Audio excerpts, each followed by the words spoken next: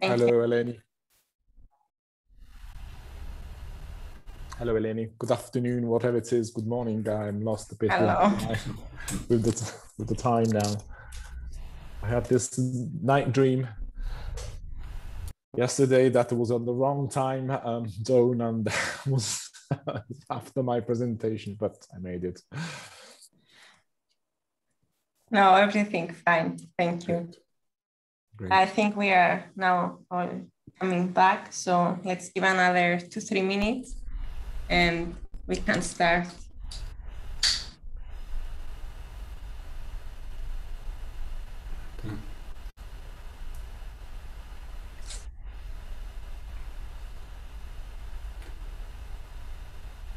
I Rob, I get that in the background is not Envisat, is it? Healthcare. yes. Indeed. I have lasers in, in my back. I can see that. Be careful. Yes, they uh, they can hurt. hope. Let mute myself before I say stupid things. Yes.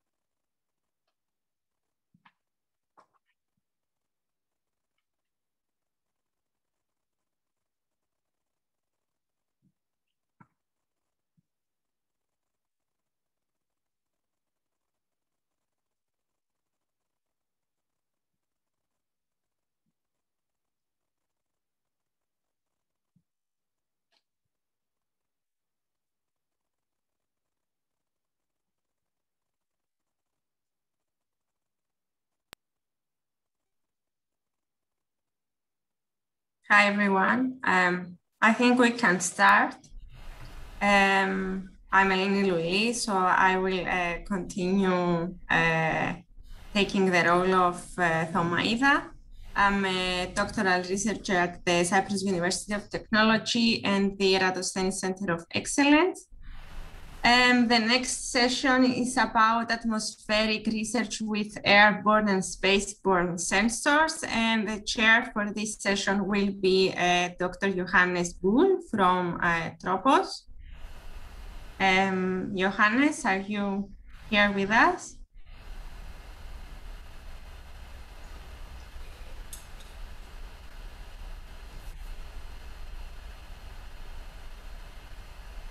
Okay. Johannes is, is coming. I just got the message from him.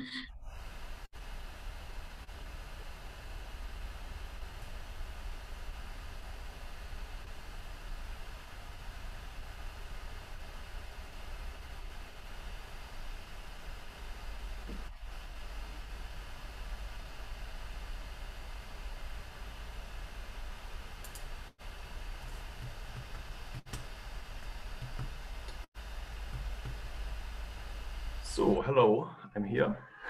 Hi, Johannes. So I'm giving you the floor. We can start with the next session.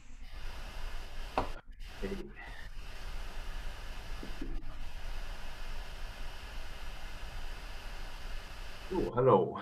Um, our next session about um, atmospheric research with airborne and spaceborne sensors start with a talk of Rob Koopman from the European Space Agency. And he will talk about the EarthCare uh, status and validation program.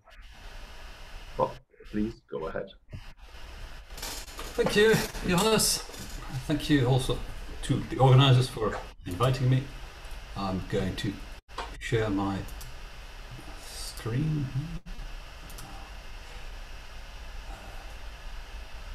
And something is not happening.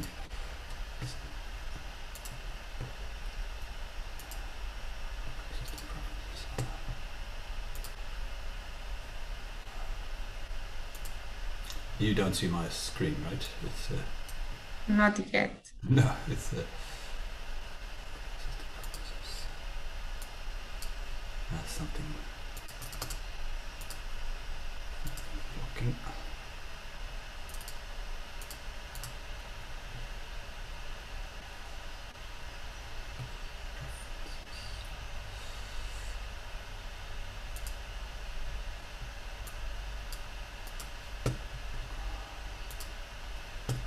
Alright, I have this triangle that says with an exclamation mark it says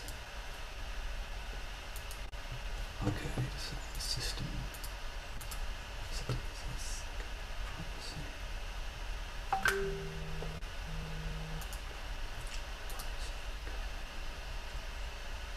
okay it's I found it I think okay now it should my computer should allow settings we have actually at ESA we have uh, normally we are not allowed to use Zoom Okay. but I think I found a way around because my laptop is uh, is not uh, is not fully ESA managed so uh, do you see see my screen now Yes. okay there we go to presentation mode yes so. I will address this with, I'll try to speed up to lost the time, uh, to make up for the time lost, but indeed I will speak about the EarthCare mission and its validation program. And uh, you see the, uh, instrument behind me, the, the mission behind me. Um, briefly, the mission is about uh, you know, the Earth um, radiation budget and the interaction with clouds and aerosols and uh, also to uh, improve the climate and, and numerical weather prediction models, basically because there's a lot of fundamental information missing. Uh, it's, it's not so much an opera, that's a mission intended for operational use, it's really research.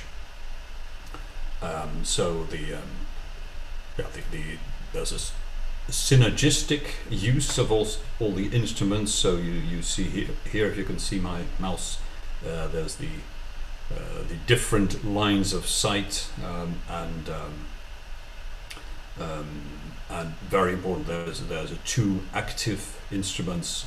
So therefore you see these vertical uh, curtains here in this uh, this image. Um, it is the sixth Earth Explorer mission so there's an ESA program that complements the the Copernicus and meteor meteorological programs. So it is the um, and, and Thus far, it is the most complex and largest uh, mission of the Earth Explorer program.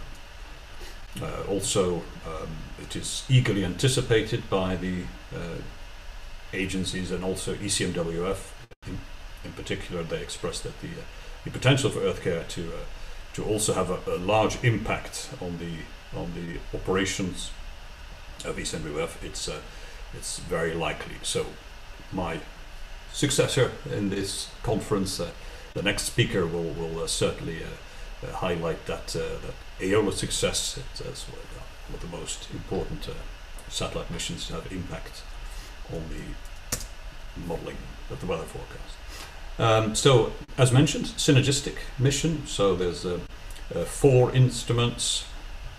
Um, there's you see five blocks, but these Doppler and the uh, traditional radar, it's, it's, of course one instrument. So there's this uh, um, um, CPR, the Cloud Profiling Radar, provided by JAXA, the Japanese agency, and then there's ATLID, so the LiDAR, the MSI, the multispectral imager, and the broadband radiometer provided by ESA, and there's this um, uh, yeah, this synergy to derive these geophysical products, so precipitation and ice and water information, so cloudiness uh, characteristics. There's um, aerosol characteristics from using both the MSI and the ATLID, for example, and there's this radiation broadband um, that is also combined, and um, yeah, there's an overall also closure using the the let's say the, the scene uh, constructed by the three instruments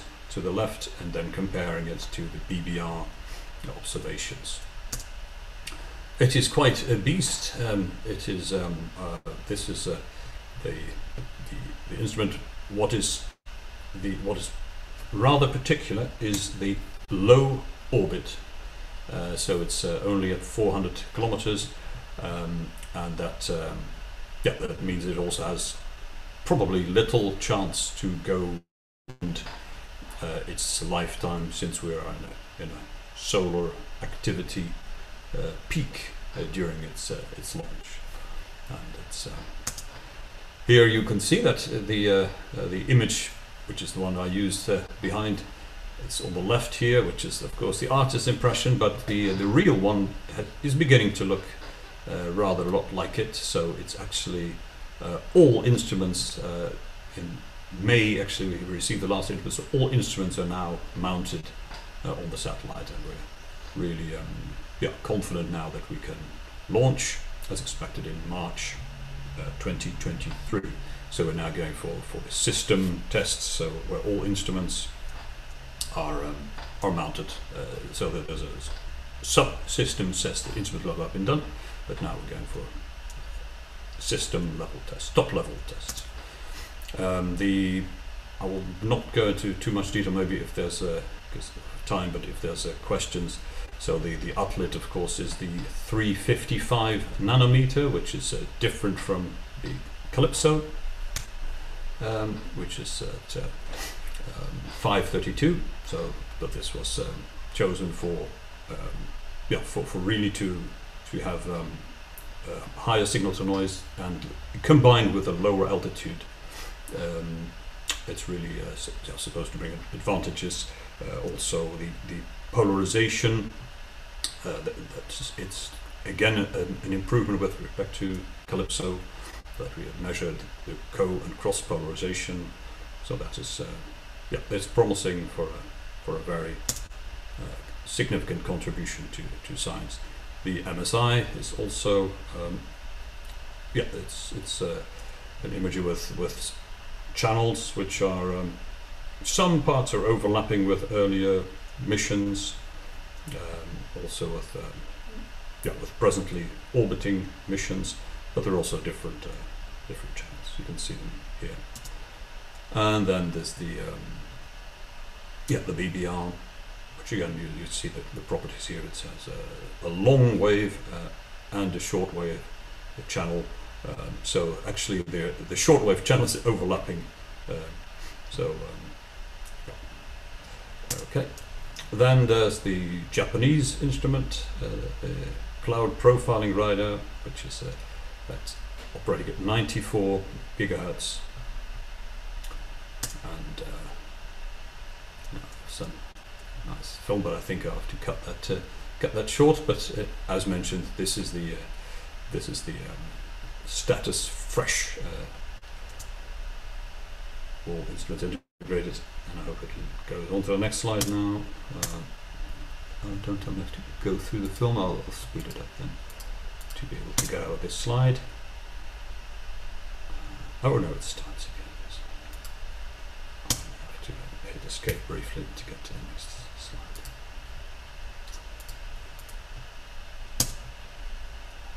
this now it's black.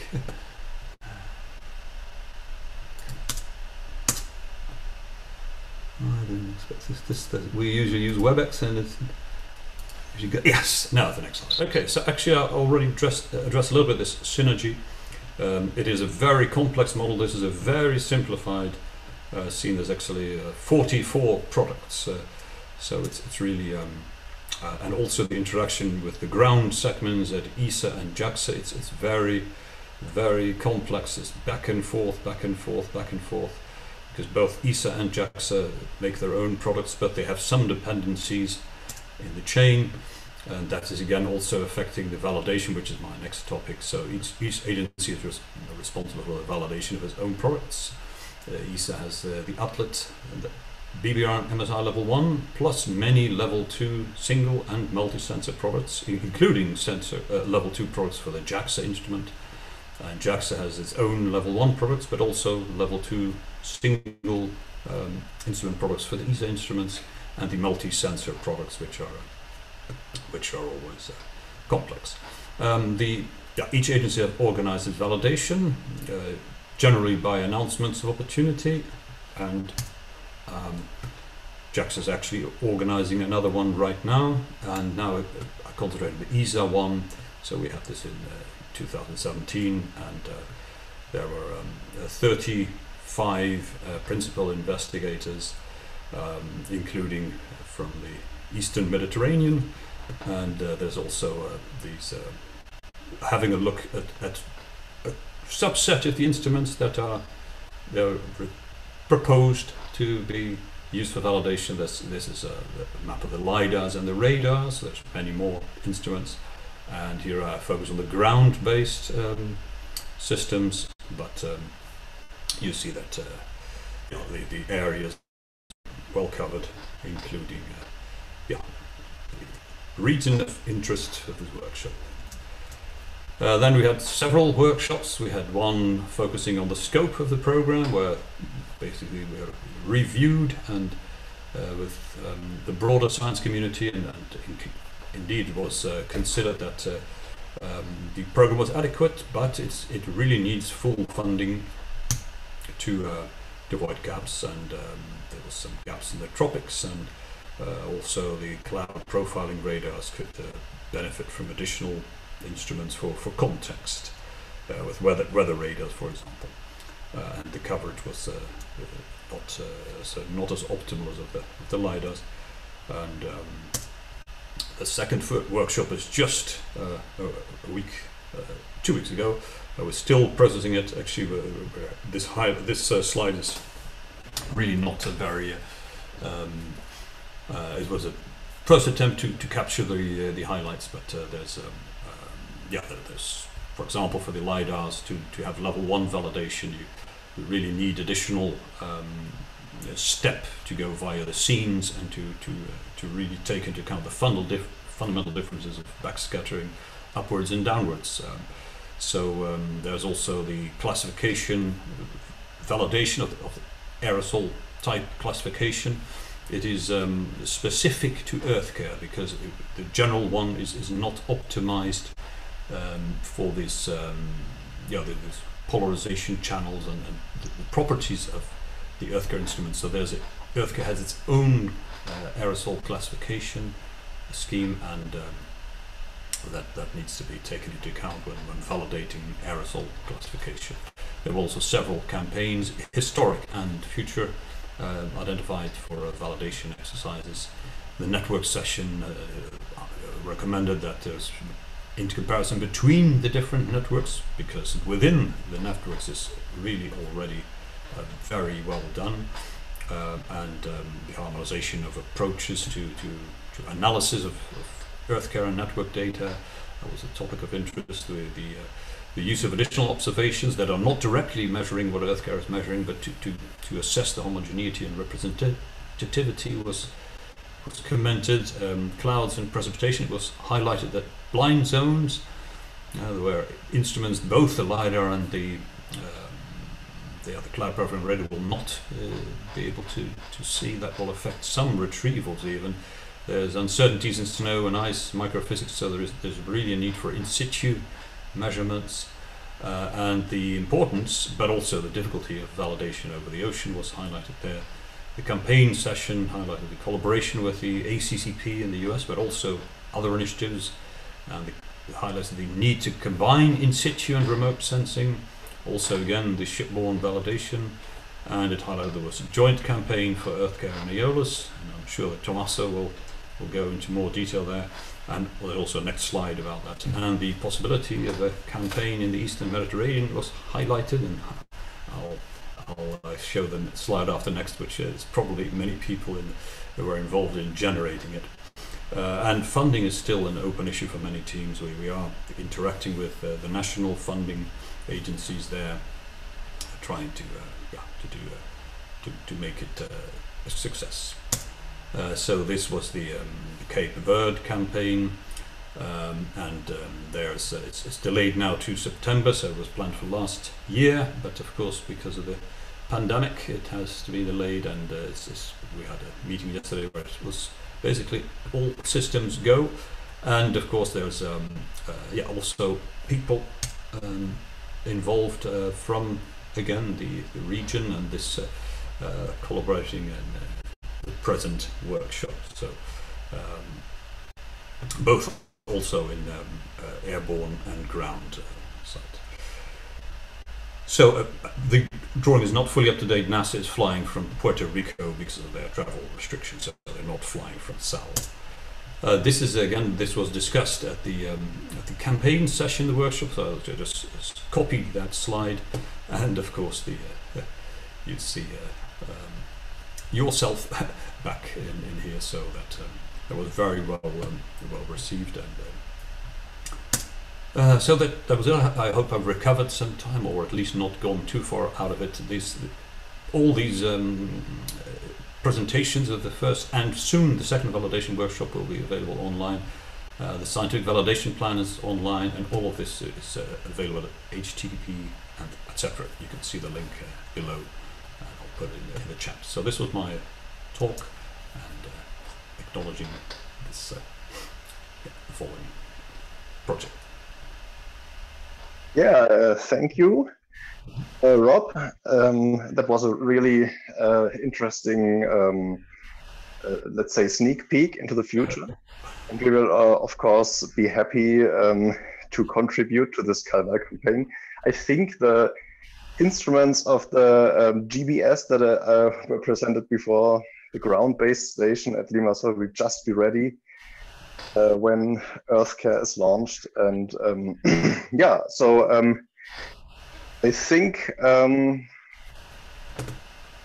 uh, we go on. Um, this EarthCare is a um, is a future satellite or near future satellite, but we already have one, uh, let's say, sister mission uh, flying, which is um, the Aeolus satellite, and which will be the topic for the next uh, talk by Tommaso Parrinello.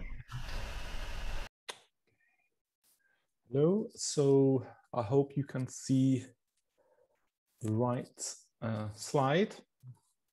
This is the most complicated thing to be done. Can you hear me? Yes. Okay, so thank you Yes. Thank you to thank you, Chairman. Thank you uh, to to everyone. Uh, my name is uh, Tommaso Parrinello. I am uh, the mission the Aeolus uh, mission manager, and it's a pleasure for me to talk today about Aeolus in this workshop and give you uh, the general overview and the current status of the mission and what we want to do in the next two years.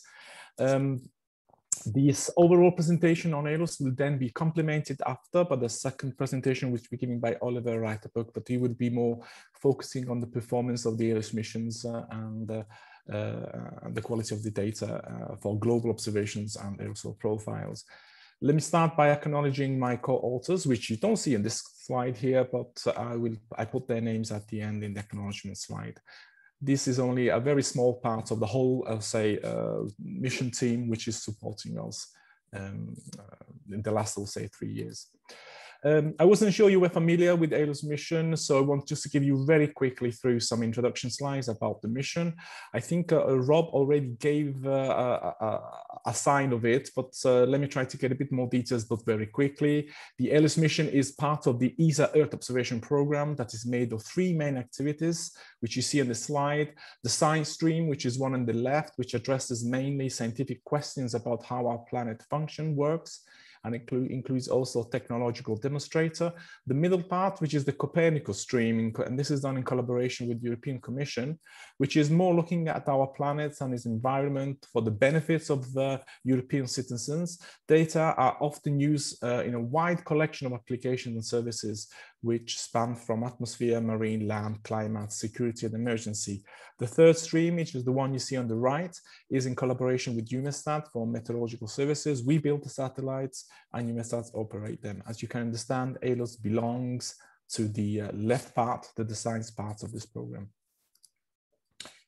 Now, Aeolus was launched, uh, so it's part of the Earth Explorer or Science program, which was launched almost three years ago from Kourou on a Vega uh, launcher. The main payload, and we'll have a slide on this, is a laser, which is operating, as you can see, at the same frequency of uh, the ATLID of EarthCare. The orbit is around 320 kilometers, shows lower than EarthCare with an inclination of 97. It's sun-synchronous, dawn dusk, seven days repeat. The mission control is done in Germany. The ground stations where we acquire the data is, uh, is from the north to the south of our planets, from Kiruna and Troll and Antarctica as well. The processing of the data when it comes down is done mainly at Tromsø and in the, at ECMWF here in Reading algorithms, processes, and data qualities is done by the DISC consortiums and Oliver Reitebuch, which comes after me, We'll give you a bit more information about that. Mission management is where we manage all the mission is done in Italy, in ESRIN. And the lifetime, the design lifetime of the satellite was three years. And uh, technically speaking, it should have ended at the end of 2021. I'll tell you that probably we're going to do for another year. So um, the two main objectives of the missions are to improve the quality of weather forecasts by providing global measurements of horizontal wind profiles in the troposphere and lower stratosphere, and also to advance our understanding of the atmospheric dynamics and climate processes. It has also, a, I would say, a handful of, uh, of goals as well, in addition to the objectives. And just I wanted to put one here, which is probably relevant for you, at, at least for EarthCare as well, is that uh, a long-term one is to demonstrate space-based uh, Doppler wind lidar capability for operational use. Now, the motivation for building these missions was primarily based on the fact that the wind observations are scarce in the current global observation systems. And this, as you know, limits our ability to predict weather, especially in the tropics, where the atmospheric motions of all scales, as you know, are dominated by wind fields. And also there was expectation to obtain information on aerosol and cloud properties. And as you know, Earth, which comes after us, will basically have more on this. But oft, uh, I'll say after, after three years, we believe that we have contributed today to reduce this gap. A quick slide on the measurement principle. Aeolus measures winds on a side looking way over um, and at the 35 degrees from nadir, and it's capturing profiles over the line of sight, uh, and then it's projected on the horizontal line of sight. The main instrument, as we said, is a Doppler wind lidar, which operated at 355 nanometers. Uh, we receive back the echo coming from molecular and aerosol and cloud backscattering into two channels, Rayleigh and Mie. We regularly perform calibration to keep under control the drift, the random errors, the biases, and overall to keep the quality and performance of, of the data so that is high. The winds are then referred to, to a vertical curtain grid, which is spread over 24 vertical beams, which can be programmed. And the resolution is between 250 meters and two kilometers, while the horizontal resolution is 87 for Rayleigh and, and lower, better, 10 kilometers for Mie. A quick slide to remark the onboard instrument is an incredible technological piece of kit. I will say I'm probably one of the most sophisticated instruments ever, ever to be put in orbit. And it has, has manifested all these peculiarities, I will say, in the last three years in space. The instrument compromises a higher power ultraviolet laser transmitter and goes through more than 80 optical functions and different wavelength conversion. The signal is then received back through 1.5 meter telescope, which is tunneled through a very small 80 microns field of stop and through many, believe through many other uh, elements uh, of this, uh, which makes the instrument. And based on the Doppler LiDAR principle, we are able to detect difference in the frequency of the order of 5.64 megahertz. And if you want, this is a difference of a wavelength of around two femto. Now on status, let's now go into the core of the status of the mission. Overall, the performance of the mission is quite good. This is a very busy slide, I apologize. Uh, it's good despite, I will say, the challenges which we have been facing since its launch. I will say now actually that is very good despite those problems. The platform is performing well and any sign is within the specification. In July, two years ago now, we switched to the redundant laser called FMB, and since then the output of the laser has been stable with its output energy, and, um, and very little sign of degradation if compared to the previous laser. And you can see all this, which I'm saying in the graph on, the right. In March this year, unfortunately, the laser went to, into survival mode, basically it switched itself off. And, and this was caused in response to a spurious set of instructions while performing a calibration. The event itself did not cause any hardware damage to the instrument and allow us to resume operations at the beginning of May, so just a month ago. But the most critical problem remains the decrease of the return energy that we receive, that we are measuring, and also problems with the internal signal. And now these are starting to have an effect on the quality of the data and, and especially on the randoms errors. Now, in order to tackle these problems, we are following a dedicated roadmap with the objective to try to recapture the mission energy and reverse the trend. This roadmap foresees also a return eventually to the prime laser, the one we switched in two years ago, and even, and also, if possible, to lower the orbit by 53 kilometers. And all this is really becoming already challenging for us for what we're going to do, and nevertheless, it's still under investigation. The final point is just to say that from the ground second point of view, no issue here to report, and the mission planning is following not only the background mission, but also accommodating new requests which coming from uh, new investigations from the user community and also to support basically um, the investigation we're doing. And the good news is that despite all this, we have now funds to run the mission beyond its, uh, its first three years, and we have money to run the mission until the end of 22. Now, the quality of our data, and um, I see that probably Oliver will go a bit more deep in that, is currently monitored by the DISC consortium, which Oliver is the leader, which is also supporting the investigation of the instruments. And we are aware that while we have been successful in keeping under control the biases, it will be very challenging. We know that to reduce the random errors to the values requested by the mission requirements, which you see in this table here. It is not only this is not only due to the fact that the current that we have these current issues, but also that we are missing uh, a factor of two to three of energy backscattered coming into the instrument since the beginning. However, our main goal is to maintain values of the random errors so that the impact on the numerical weather prediction is still visible and measurable. Until then, the expected mission lifetime, both the evolution plan of the products, which is taking consideration the ongoing investigations, the new studies, the synergies with other missions is now consolidated. And I have a slide at the end which gives you an overall timeline. Not moving on, uh, on the science part, on the science, let me outline that Aeolus now uh, data are now assimilated by four most important meteor centers in Europe and also recently by the Indian National Center for Medium Range Forecast, weather forecasting. of the sensors will likely join by the end of this year. So let me say that we have achieved mission objectives. In fact, the beneficial impact of the Aeolus wind in most of the global NWP models has now been proven while the contribution to the atmospheric dynamics, if you want the object, the second objective of our missions, has started now to emerge in literature. For this, I'd like to take the opportunity that, uh, to, to, remind, if you are interested, that we have a deadline for special Aeolus issue, which will be done, which is now has been extended, sorry, until September 2021. So overall, the scientific and the innovation studies are on track according to a science plan, which was um, designed, uh, proposed at the beginning of the mission, and a full report of the status of the mission objectives will be prepared at the end of next year. This is because we have been extended. And I take here the opportunity, I, I, don't need to go to more details because I see that Rob has already given you something, some information about it. Our travel campaign due to coronavirus has been postponed by a year. Now it was planned in July, but we decided to postpone it to September this year.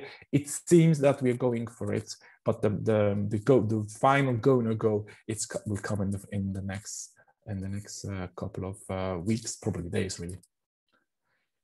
Now, since last year, taking in consideration the mission situation and the continuous, I'll say, dialogue with the user community has led us to define four strategic mission goals, which will drive the operations until the end of next year and hopefully beyond.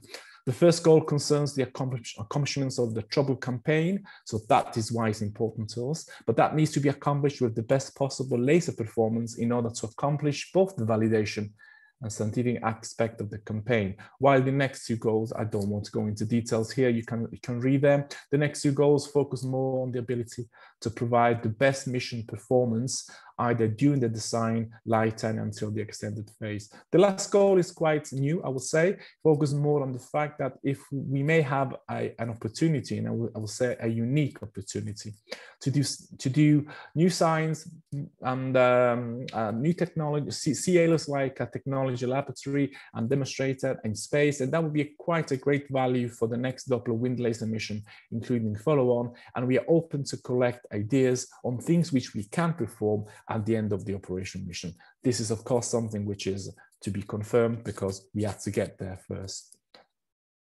And as mentioned before, uh, these goals will drive the operational roadmap, which you see here for the next two years. It is a complex plan, but as you can see, it still have a number of options to exercise before we arrive at the bottom of this really long and winding road. Every step you see here is an activity that we want to perform from now until the end of the mission in order to recapture the energy and try to maintain the performance as good as we can.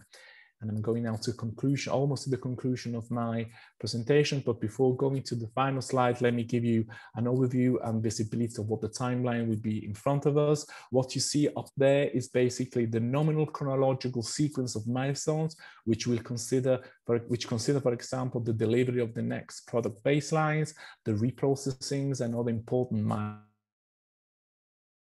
parts consider instead the activities linked to the execution of this roadmap, which I just mentioned before, and uh, which I just mentioned before. As you can see, anything which is going to happen in the lower part will have, I will say, a significant impact on, uh, on the upper part.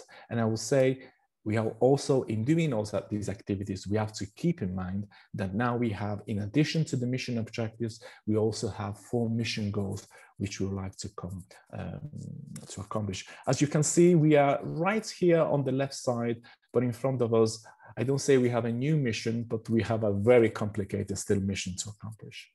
And this goes me to my, goes to my last slide, very quick browsing through what I just said before. It, performance of the mission is good, and we have been providing wind measurements for more than two and a half years now, having solved most of the main biases and having kept under control the random errors. In addition, the problem uh, to the problem which occurred two months ago, a number of critical issues remain still challenging with the instrument, which will drive the timeline of operations for the following 18 months. For this, I just showed you before that we have a dedicated complex roadmap which we have, which we have to implement.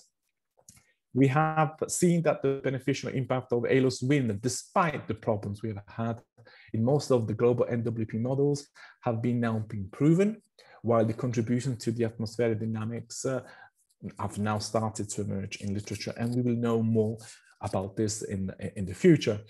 Uncertainties related to the coronavirus has forced us to, um, to, to, um, to, uh, to have a new plan for the tropical campaign, which is now likely to take place in September. And finally, the overall achievement of Aeolus as a scientific and technological demonstrator is good, and we are convinced that it is becoming a now a worldwide acknowledged pathfinder of any future Doppler wind LiDAR missions. And my last comment here is that we are now planning to have our third anniversary Aeolus Calval and Science Workshop next year, end of March 2022. And with this, I just go to Masla, which is not only acknowledging, of course, the project, but here are the names of the people of which are contributing uh, to, I will say, to the success of this meeting, of this, sorry, of this mission. And as I said before, this is just a small part of the overall mission. So thank you. thank you, Tommaso, for this uh, really um, interesting talk about the Aeolus mission. We are all very excited and wish you good luck that this will uh, go on further. And uh, we uh, go to Oliver Reitebuch, and Oliver was on Cyprus uh, with the Falcon aircraft during um, the A-Life campaign, which took place uh, para in parallel to the CyCARE campaign. And I'm uh, very excited to hear from him uh, what special meaning the Eastern Mediterranean has for Aeolus and the other way around.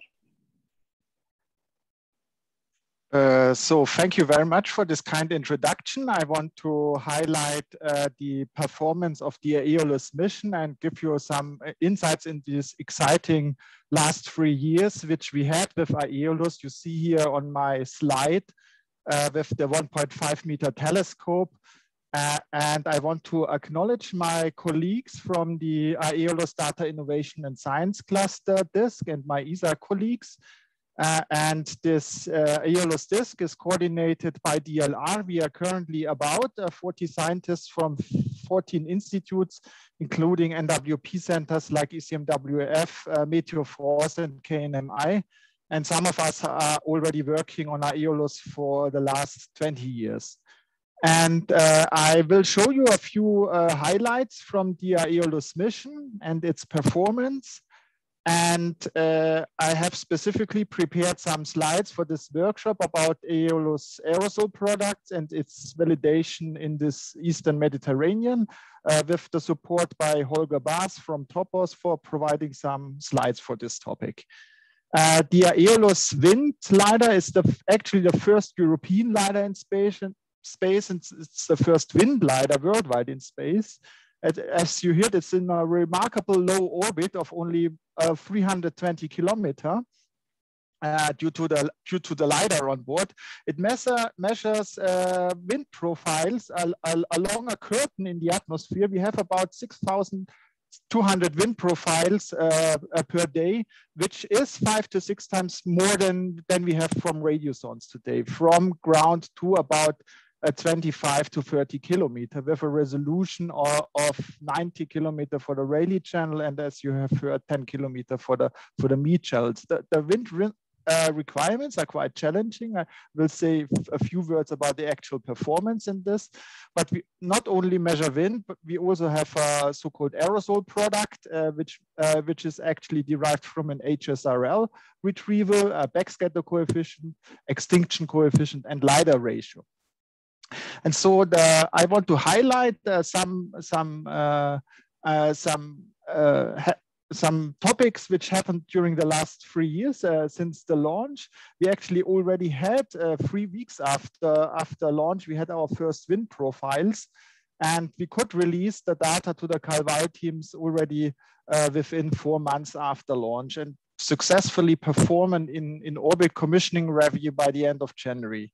We had to solve some issues with the systematic errors uh, uh, in the in the first year. So the first one was related to some detector issues where we had so-called hot pixels. This was successfully solved in by by mid of 2019. Then we switched to the second laser. And with this uh, solving of the biases, it was uh, possible that ECMWF started already uh, in January 2020 uh, with the operational assimilation of Aeolus products. We had then another very important bias correction uh, developed by the disk uh, using the temperatures from the M1 mirror. And this also allowed us then to publicly release the wind products uh, to everybody uh, in May 2020. Then also driven by the COVID situation where we had a big loss of uh, wind observations uh, by several weather centers due to the missing aircrafts. Uh, DW, German Weather Service Météo-France started then um, in uh, by mid of uh, last year with operational assimilation of Aeolus data and UK Met Office followed by the end of last year. Already, and with this success, already ESA and EUMETSAT started preparation for Aeolus follow-on missions in the timeframe 2030 to 40. And we will soon uh, be able to publicly release also the aerosol pro product. And I'm looking forward to the Aeolus tropical campaign. And I want to show you on this slide the, the main characteristics of our, of our wind product. Uh, here you see the wind uh, line of sight measurements along one orbit. And as it's a line of sight measurement, it has uh, negative and, and positive signs. So the negative winds, they're blowing basically that the blue colors, they're blowing towards the instrument and the positive ones are blowing away from the instrument. So it's not the full uh, horizontal wind vector, but you already see with these uh, with these uh, colors that we quite remarkably sense sense the, the tropical jets, so the polar jets here, but also see the indication of the polar vortex uh, around Antarctica uh, in, in this part of the orbit. And this was a very early observation from Aeolus uh, a few weeks after launch from September 2018. And this already compared quite well with, uh, and then slipping back and forth with wind scenes by the ECMWF model. And this gave us very good confidence that, that, that we have uh, achieved a very good uh, mission and, and data product. If you want, I want to encourage you to have a look on the Aeolus products. The data are publicly available. You can get a first glimpse of these uh, products by using an, a very cool tool called VirES. It's an interactive web browser tool where you can uh, visualize the, the Aeolus data. Uh, here, for example, Rayleigh channel data, here the Mie channel data from CloudTops. Uh, uh, interactively in a web browser un under this uh, address. And we are currently working on a Python interface to this web browser to actually support further the Calval teams working on it. On DLR side, we already started a few months after launch with a first validation campaign. So we put two wind lidars on board the DLR Falcon aircraft and flew around in, in Central Europe. But with, already within the first year of operation of Aeolus, we performed three airborne campaigns with uh, performing underflights. You see these on the straight flight paths, uh, both in Central Europe and then also in the, in the North Atlantic and, and Greenland uh, based on Iceland. And you see here a, a one example of a, of a nice curtain of Aeolus measurements of the horizontal line of sight wind speeds on top compared to uh, our reference instrument on board the DLR Falcon uh, operating at uh, two micron, which you see here. So it's a, it's uh, qualitatively a good agreement. You see also that the airborne wind lidars allow much much higher vertical and, and horizontal resolution, and you see this single profile comparison uh, also over here. And we are now uh, preparing the, tr the tropical campaign, which was mentioned already. Uh, the monitoring of the data is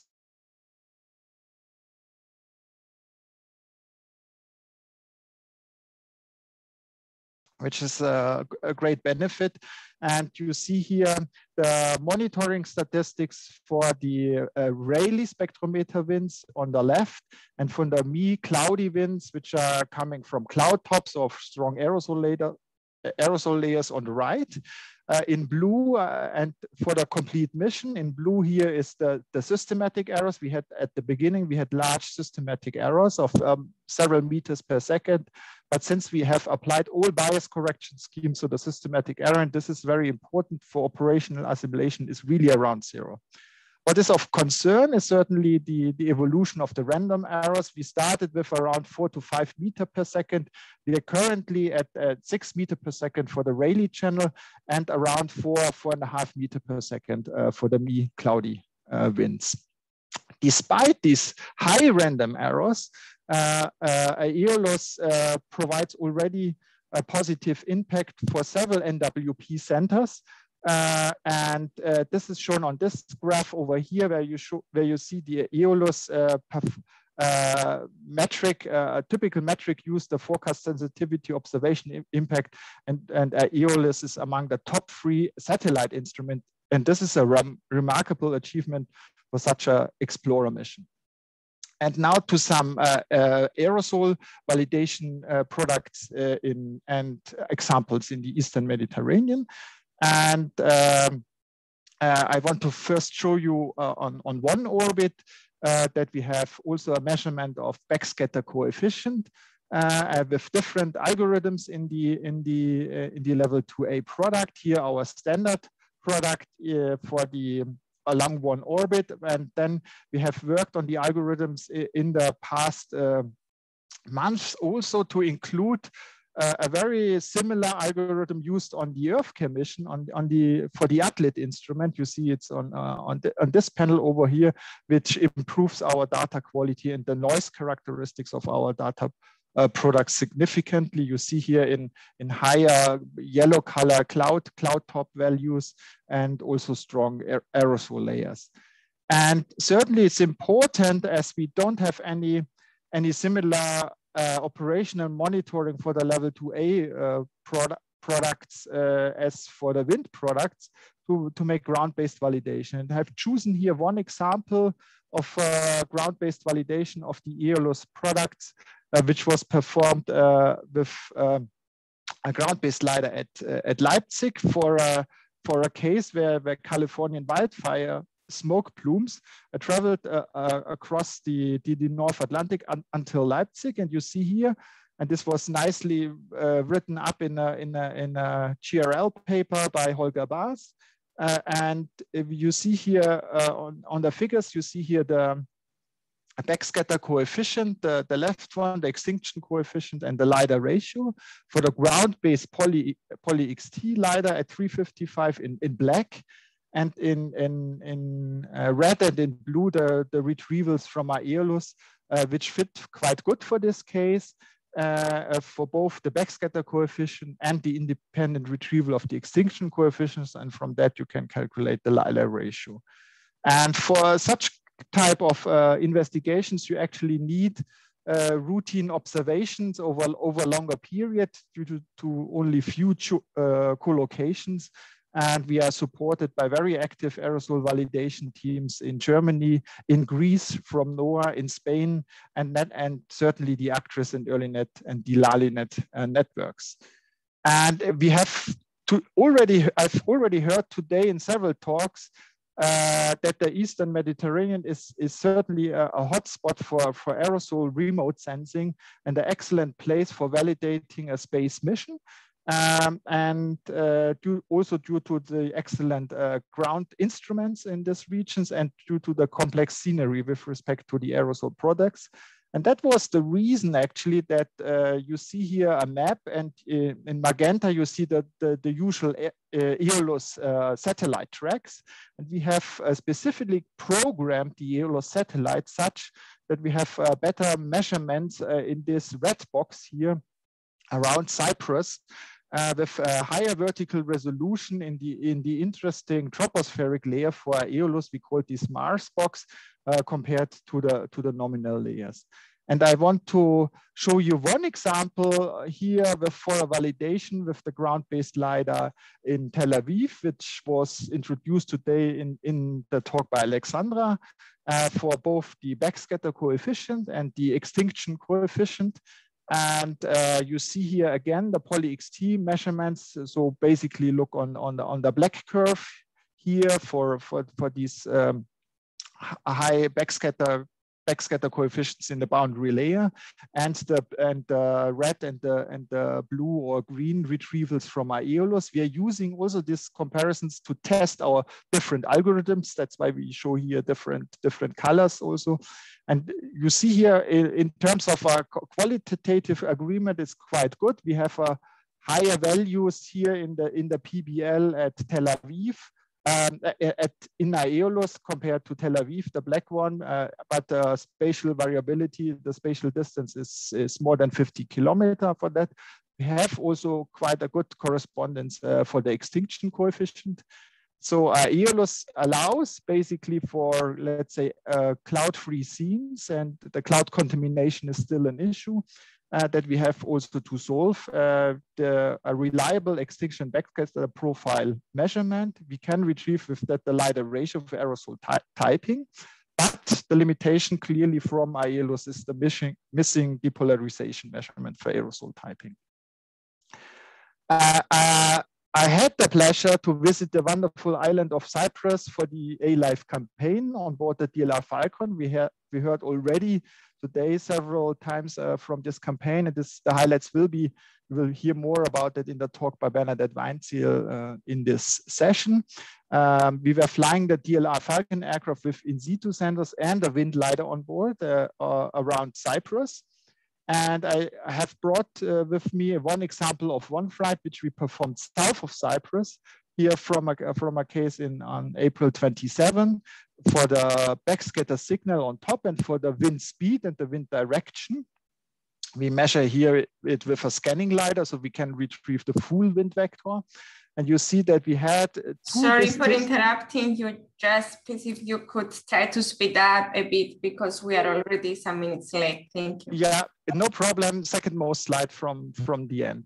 Uh, so we, you see several aerosol layers uh, embedded within a zone of very low wind speed. But what I have not seen before was the remarkable uh, heterogeneity basically in the wind direction. You see in these colorful scales that we almost had every wind direction and it's a very complex and a very complex flow, flow south of this island. So with that, I'm looking forward to the Aeolus tropical campaign, which is now taking place in September, hopefully, with several aircrafts. We are basically also shifting the orbit of our Aeolus to match better the ground-based measurements on the island of Mindelo. And with that, I'm coming to my summary slide.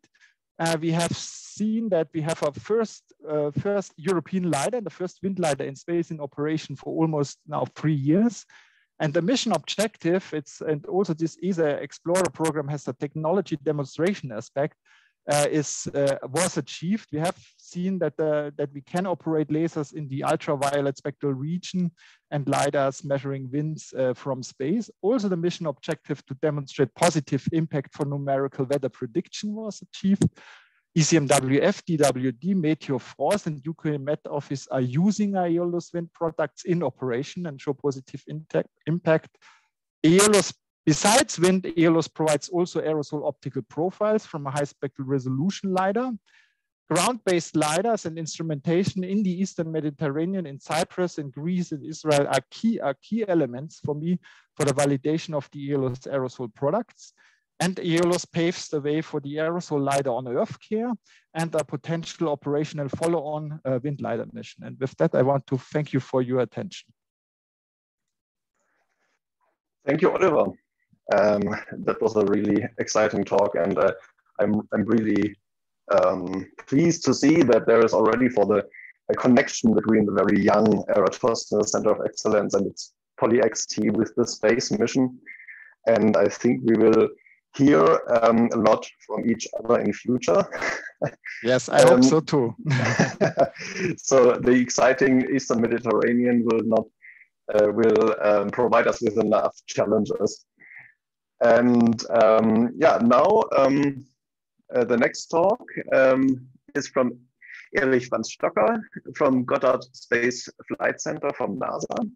He will talk about the uh, GPM mission, the Global Precipitation Mission, which is in this collection of satellites that we uh, just saw, the EarthCare, the Aeolus, and the GPM it's, is the, the precipitation uh, mission. And with these three satellites, we have already covered a vast field from uh, radiative transfer measurements, microphysical measurements, wind measurements, and now uh, we go further to the precipitation measurements. Uh, please go ahead. Okay, um, let me say that we're um, currently in the uh, seventh year of a three-year mission. Predictions call for um, if, if, the uh, satellite and instruments remain healthy, then uh, GPM can last till 2035, which isn't too bad for a three-year mission.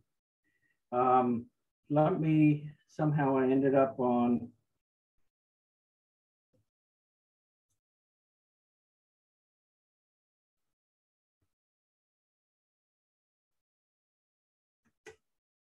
Okay.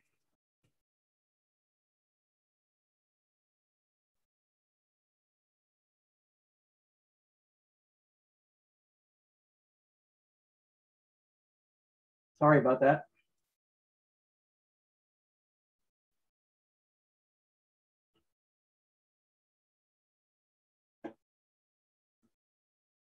So I'd like to talk to you about the reprocessing. We're, we're currently scheduled to start another reprocessing cycle for uh, GPM. And to start that out, I'll give you a background of our, our current data product versions. At launch and the early checkout period, we had a version uh, V03 that used vendor and pre-launch information for ancillary data. It was available for all, but it was generally focused on the algorithm developers, and it was especially important for calibrating the radar and the radiometer. Then um, about 180 days into the mission, we had the V04, which was the first official release to the public. This was still based on pre-launch validation data, but included all the on-orbit calibration analysis it processed data from the beginning of the GPM mission in March of 2014 and the IMERG data, which is the merged radiometer IR data, uh, only went to from March 2014 and it used cloud vector information for morphing. Then um, the current version is, and there are actually two versions, V05, V06, it was originally to be only V05, but after the release of the radar level two and three data, it was determined that there was some anomalous, uh, anomalous uh, precipitation. And we recalled the uh, V05 radar products and with a V06 algorithm. The radiometer stayed at uh, V05, but the radar went to V06. However, everything was reprocessed back to the beginning of TRMM. So V05, V06 is the first time that GPM algorithms were used all the way back to 1997. And indeed, for the level 1C radiometer products, we went back to 1987, which was the beginning of the SSMI era. Um, so IMERG data switched to uh, using reanalysis and model data for its morphing and therefore it could also go back to 2000. So now the IMERG data, which is 0.1 degree by 0.1 degree half hourly products, is available consistently with a consistent algorithm back to the year 2000. In May of 2018, the scanning pattern for the KU radar was changed so that it could scan the entire KU swath rather than just the interior portion. So all the March 2014 to April 2018 data will always have uh, KA. Um, the match segment, which is the pixel matchup between KU, KA, which is in the interior part of the KU spot, um, and a high sensitivity data where KA uh, observed in a, in a high, high sensitivity mode while the KU was scanning the outer edges of its swath. However, that was changed in May 2018. So from May 2018 to the end of the mission, KA high sensitivity swath will still be in a product, but it'll always be missing values. Whereas a KA normal swath will now match the KU swath uh, uh, across the entire 245 kilometer swath. For those interested in seeing what that would look like, there's already an existing uh, experimental product that's V06X that's produced where KA is a full 245 kilometer swath and it provides a full retrieval, dual precipitation uh, radar retrieval across the entire um, swath. This is available for public retrieval and the algorithm is based on the version six retrievals. So there have been some additional changes since the start, besides the radar, the start of uh, V05 V06. We um, use uh, ERA interim uh, for the climatological version of the GPROF retrieval from the radiometer. So for both version four and version five, um, all the products that start with the designator 2A hyphen climb uh, use ERA interim. However, in September of 2019, ECMWF stopped the production of ERA interim and made ERA 5 available. So from October onward of 2019, uh, the climatological versions of GPROF, which go all the way back to 1997, uh, are based on the ERA 5. Uh, no reprocessing was done. So what you'll see is prior September 2019 and previous, they have the version 05A, whereas those afterwards have 05B. And when we change the letter rather than the number, it generally means that there was a change in input data or a slight change in the algorithm um, but no reprocessing back to the beginning of the mission was done. We did some studies. There are small uh, regional and local differences, but globally, there's no statistically significant difference between the um, GPROF retrievals based on uh, ERA interim versus those based on ERA 5. So what's the current uh, V07 reprocessing status? Um, current plans call for reprocessing to begin in autumn of two, 2021. At the request of people, um, all the products will be given the data product version V07. So uh, for the radiometer, um, the actually V06, uh, there's an error in the slide, will be skipped for public release. All products, radar and radiometer, will once again use the same data product version. As always, since version 5.6, all the data back to the TRMM era will be reprocessed with the version 7 GPM algorithms. Time permitting, radiometer retrievals will also be extended back to 1987, uh, which begins the SSMI era. So a lot of this is dependent on the evaluation of the algorithms that are used, and there's also some question about the intercalibration of radiometers previous to the TRMM era. Um, generally, F13 is used for that, but it, it has some issues, especially if you want consistency with those calibrated using GPM's GMI or TRMM's TMI. So what are the impending changes for version 7? This is really important because if you're using GPM products, there's going to be some substantial difference for you to get used to in the version 7 products. Level 2 and level 3 radar products will be based on dual frequency retrieval techniques across the entire 245 uh, kilometer swath.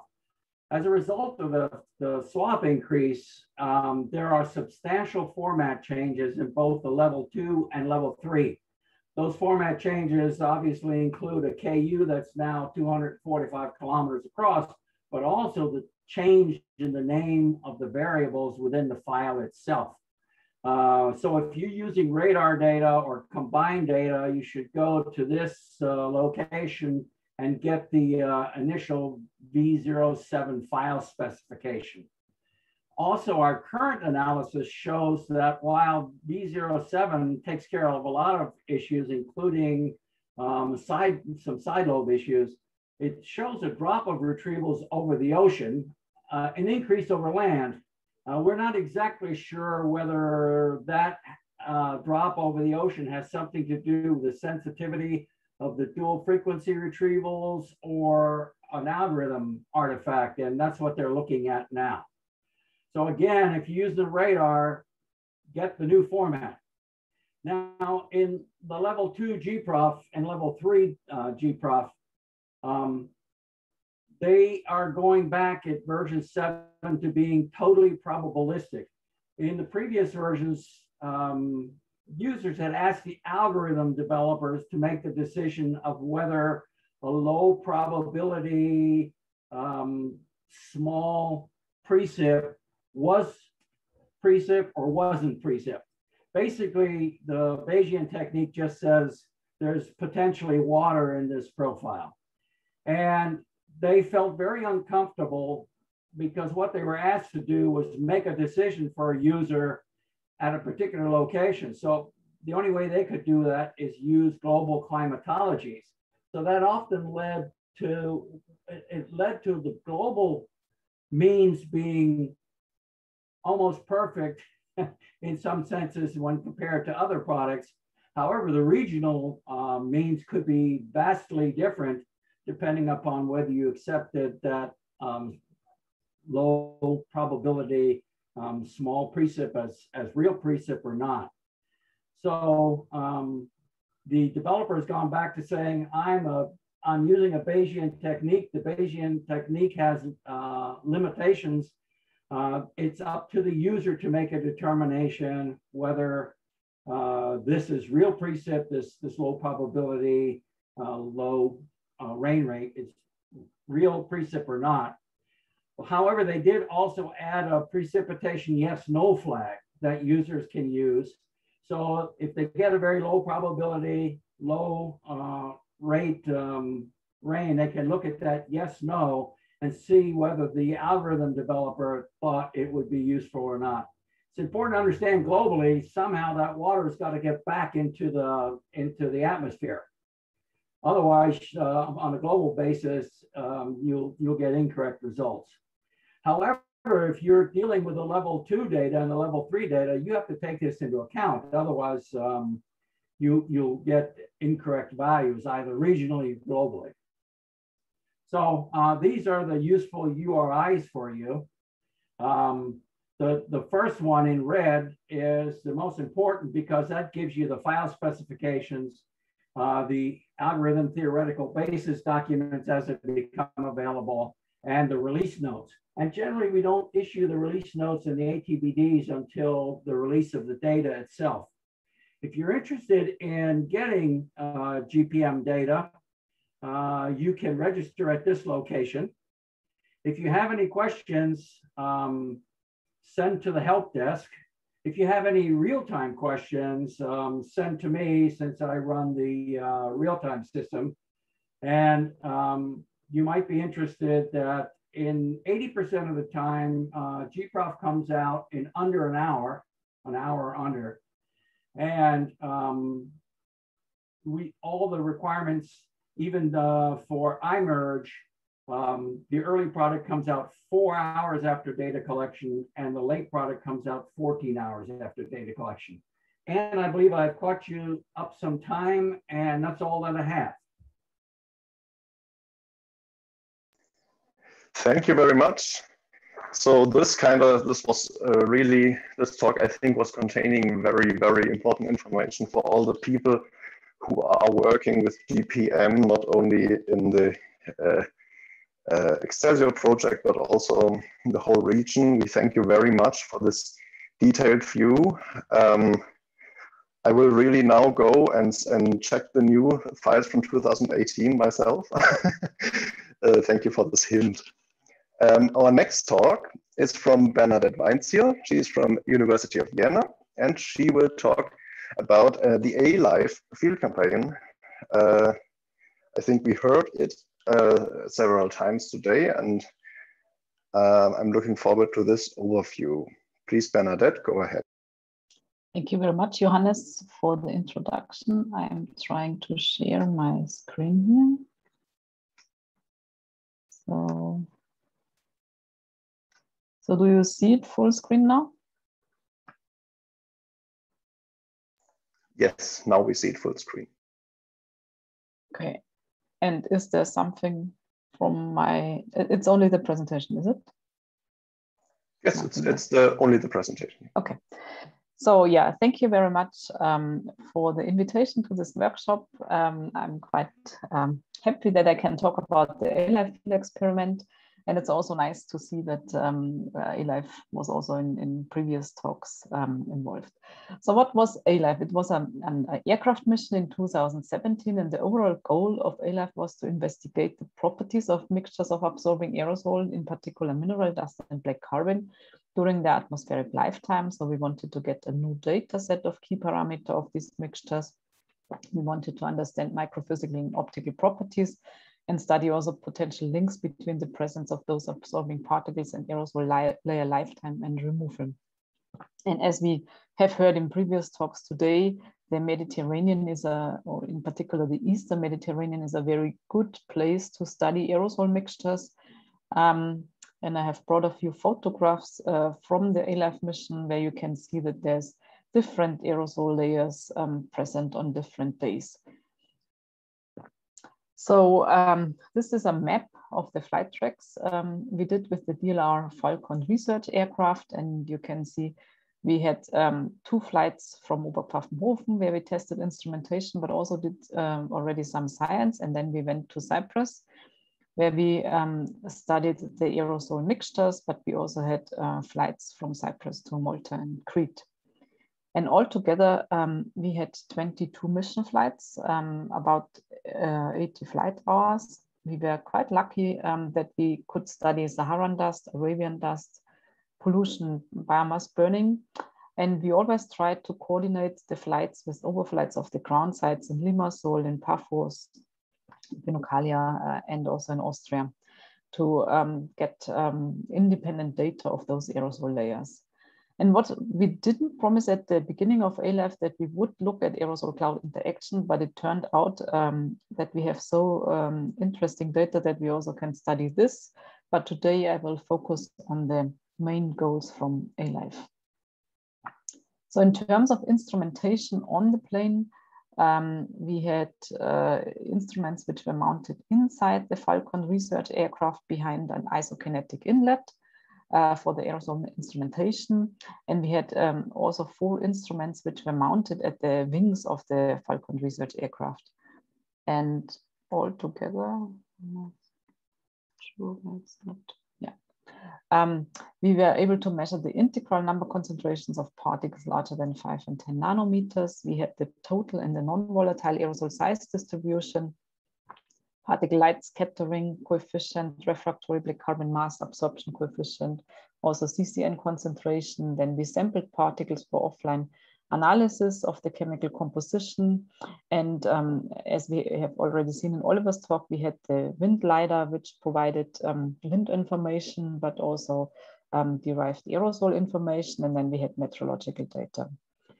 And from the instrument mounted under the wing of the Falcon um, aircraft, we were able to measure aerosol and cloud hydrometeor size distributions in the size range um, from 500 nanometers 30 micrometers. Um, we got images of particle shapes, liquid water content, and also aircraft velocity.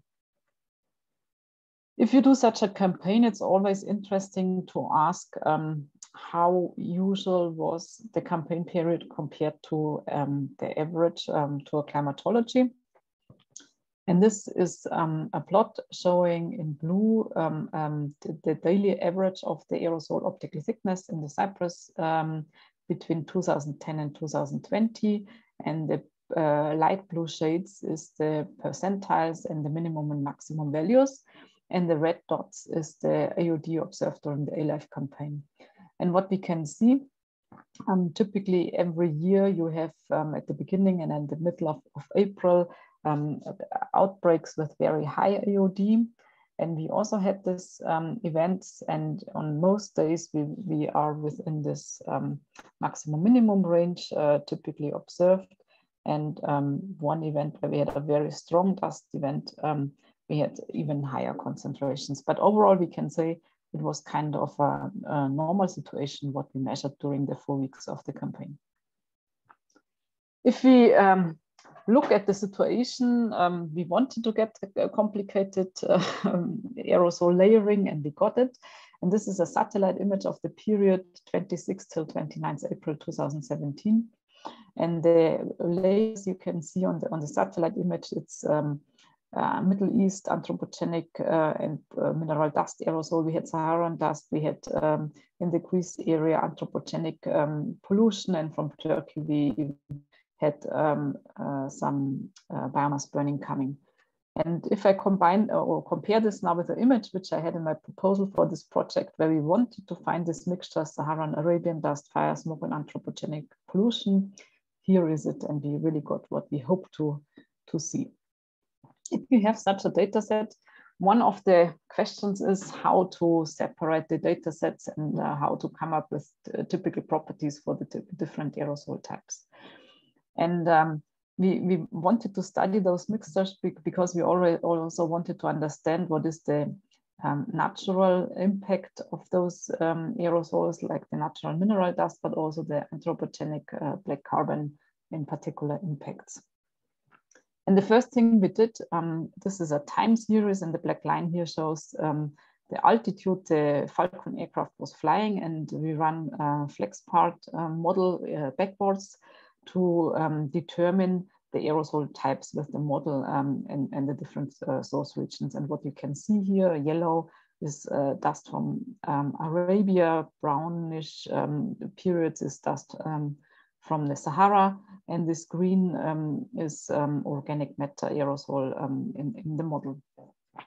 but when we um, came up with this aerosol classification, we not only wanted to look at the model, um, I, I, don't show it here, but the model agrees quite good with the measurements uh, with respect to the timing and also with um, the uh, predicted black carbon concentrations, although the model overestimates a little bit um, the black carbon mass concentration.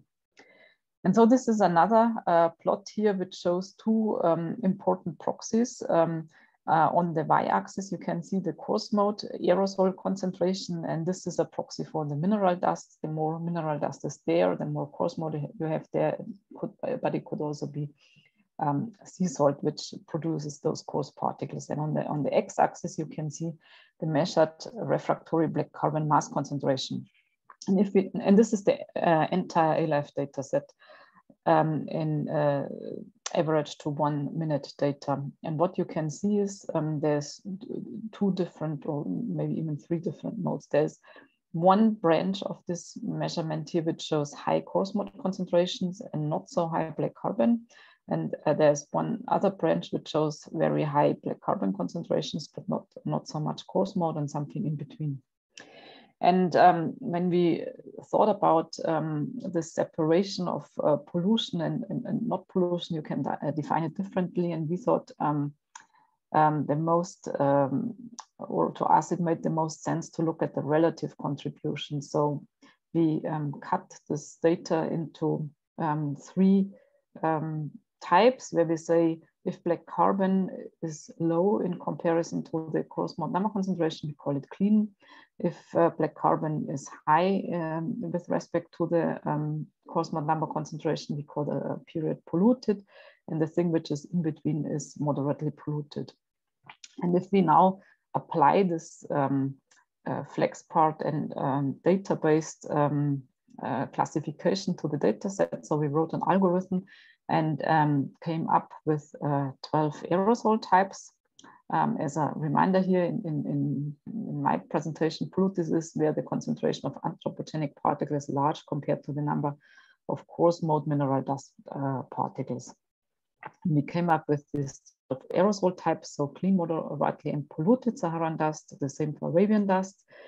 And then um, we had mixtures with coarse mode, and in this case, coarse mode could be, um, for example, um, sea salt or also some um, low uh, dust concentrations, also clean, moderately, and polluted. And then we had um, mixtures with low coarse mode contributions, uh, also the three types, clean, moderately, and polluted. And for all these 12, 12 cases, we also looked at the extinction coefficient um, produced from, from the aerosol particles and we called it background or ground if the extinction is smaller than one inverse megameter. Um, another interesting question is to understand where does the pollution originate from, which we observed in the data set. And also here we used the FlexPart model and then we um, took um, a map and divided uh, or defined 20 source areas. And these source areas, you can see it in the different colors here. Um, so um, and then we looked which fraction of black carbon was coming from which of those regions. And um, this is the result which you now can see for the um, for the uh, aerosol type Saharan and mineral uh, Saharan dust and um, Arabian dust. And again, we look at the clean, at the moderate, and at the polluted um, periods. And this is what you can see here. The um, different colors are the black carbon concentrations or contributions from the different source regions. And what we can immediately see, um, the Arabian dust um, sequences contained much higher black carbon contents than the um, Saharan dust periods. And also the source regions were uh, different if we recall the maps. So we found that for the Saharan dust, um, black carbon sources were dominated by sources in Northern Africa, um, Morocco, um, Tunisia, and also um, uh, from the Nile Delta. But there were also some contributions from uh, Southern Europe. And if we look to the Arabian dust, um, then the black carbon uh, was dominated by sources from the Middle East, and some contributions from, uh, from the Saudi Arabian uh, region, and um, a little bit from Eastern Europe. One puzzling result of the A-Life um, measurements um, was the scattering angstrom exponent. Um, so when we started looking into the data set, we were kind of expecting if you have um, mineral dust, the scattering angstrom exponent should be um, around zero. But um, what we found is that in our data set for periods containing mineral dust, the scattering angstrom exp uh, exponent varied between zero and two. And um, as a reminder, the scattering angstrom exponent um, is, um, tells you something about the wavelength dependency of the uh, scattering coefficient. And um, uh, it's expected to get a value of four for Rayleigh scattering, something like two for uh, polluted periods where you have a lot or many small particles and zero if you have uh, many large particles. So for example, for dust periods. The angstrom exponent is often used um, by, by many monitoring sites to um, classify periods of pollution and distinguish them from periods where you have mineral dust in the data. And um, so um, it took quite some time until we understood what is going on. And I will now show you uh, a representation which is a little bit different from what you typically see for the uh, scattering angstrom exponent. So scattering angstrom exponent will be plotted on the y-axis and on the x-axis, I will show the ratio of the cores um, to the total aerosol number concentration. And dots which will appear in red um, uh, mark polluted sequences of these 12 classes. Yellow marks um, moderately polluted sequences and green marks uh, clean sequences. And what we can see here, if we plot um, the scattering angstrom exponent versus this ratio of large to um, uh, large particles to the total aerosol, the picture starts to make sense. So we find for cases where we have uh, not much uh, coarse mode um, on two, then for the um, periods where we have many, many um, large particles, the scattering angstrom is uh, around zero as expected. And for the mixtures, it decreases from, uh, from two to zero, depending on the ratio of uh, coarse particle number concentration to the total um, aerosol number concentration. And in summary, we can say we have this de decreasing uh, scattering angstrom exponent uh, with increasing coarse mode number concentration. And um, we also would like to point out it's not a good indicator to just look at the scattering angstrom exponent to classify different um, um, events. And um, yeah, I already said this in, in, in heavily polluted periods, um, even if there were dust particles present, the scattering angstrom was around two. For the clean dust periods, it was zeros, and for the mixtures, between zero and two, depending on this ratio of the coarse to total aerosol. Um, I'm already coming to the end. I, I did not show um, uh, results from our cloud uh, studies uh, because I thought my time is limited. In summary, um, I would uh, like to say that the A-Life dataset is a very rich dataset. Um, we are also happy to share it with people if someone wants to do something with it, maybe use it for model evaluation. We do a lot of process studies with this dataset. Um, we uh, classified the dataset into 12 different aerosol types plus the background based on trajectories, uh, Lagrangian um, particle dispersion model simulations and in situ data. And this classification re reflects a relative contribution of pollutants uh, with respect to the natural aerosol. Um, in, in summary, the Arabian dust um, contained higher pollution concentration absolute values compared to Saharan dust. Um, the black carbon origin in the Arabian dust mixture was dominated by sources uh, from the Middle East, and the black carbon in the Saharan dust mixture was uh, dominated by sources from Northern Africa and the Nile Delta. The, um, I talked a lot about the scattering angstrom. It decreases with an increasing ratio of the coarse mode number concentration um, to the uh, total um, aerosol particle number concentration. And this is actually the physical basis for this parameter, the ratio of small to large particles. Um, the scattering angstrom alone is not a good indicator for aerosol classification. Um, there should be also other um, or other parameters be used. And um, we are currently prepared to summarize the um, uh, or give an overview of the field experiment and present selected highlights. And there will also be a special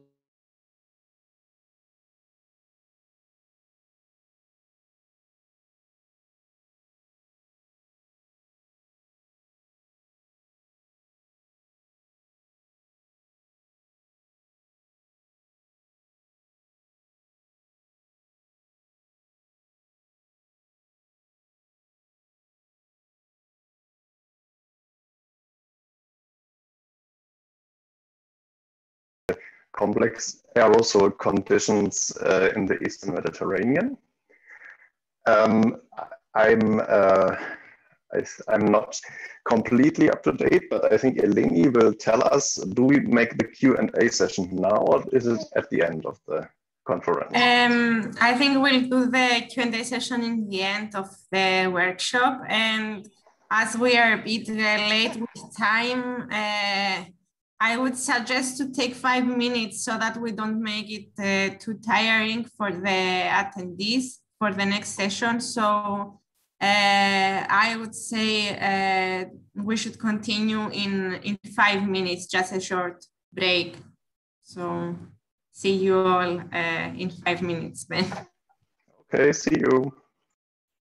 Thank you, Johannes, for chairing this session.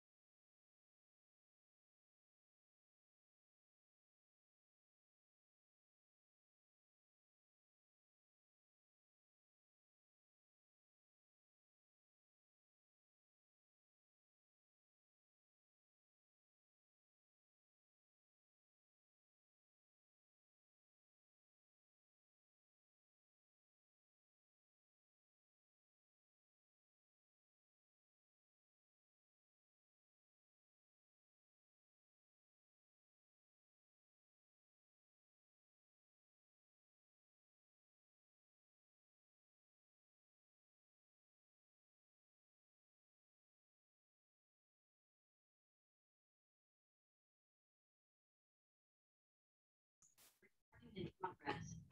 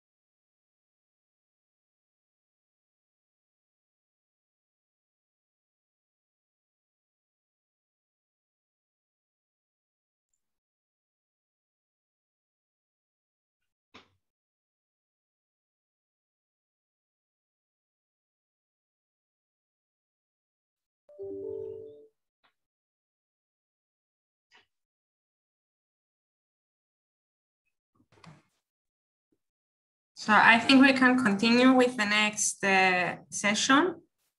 Uh, the chair for our next session is uh, Dr. Silas Michaelides from uh, the Cyprus University of Technology and the Eratosthenes Center of Excellence. And the topic of this session is climate and weather modeling in and for the EMMENA region. Uh, thank you, Dr. Silas Michaelides, for chairing this session, and uh, the floor is yours. Thank you, Eleni. Yes, we are moving towards the last uh, session of this workshop. Eleni has already announced the title. It's about uh, climate and weather modeling in and for the MENA region. We have six, six talks in this uh, session, each 15 minutes, and adherence to this 15 minutes limitation will be greatly appreciated, appreciated so that uh, we finish in time.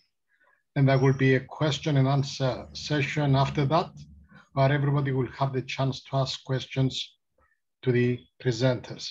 So we, we go straight ahead with the first uh, presentation by Dr. Alexia Tsouni, uh, who will talk about Earth observation simulation for real-time flood monitoring and response.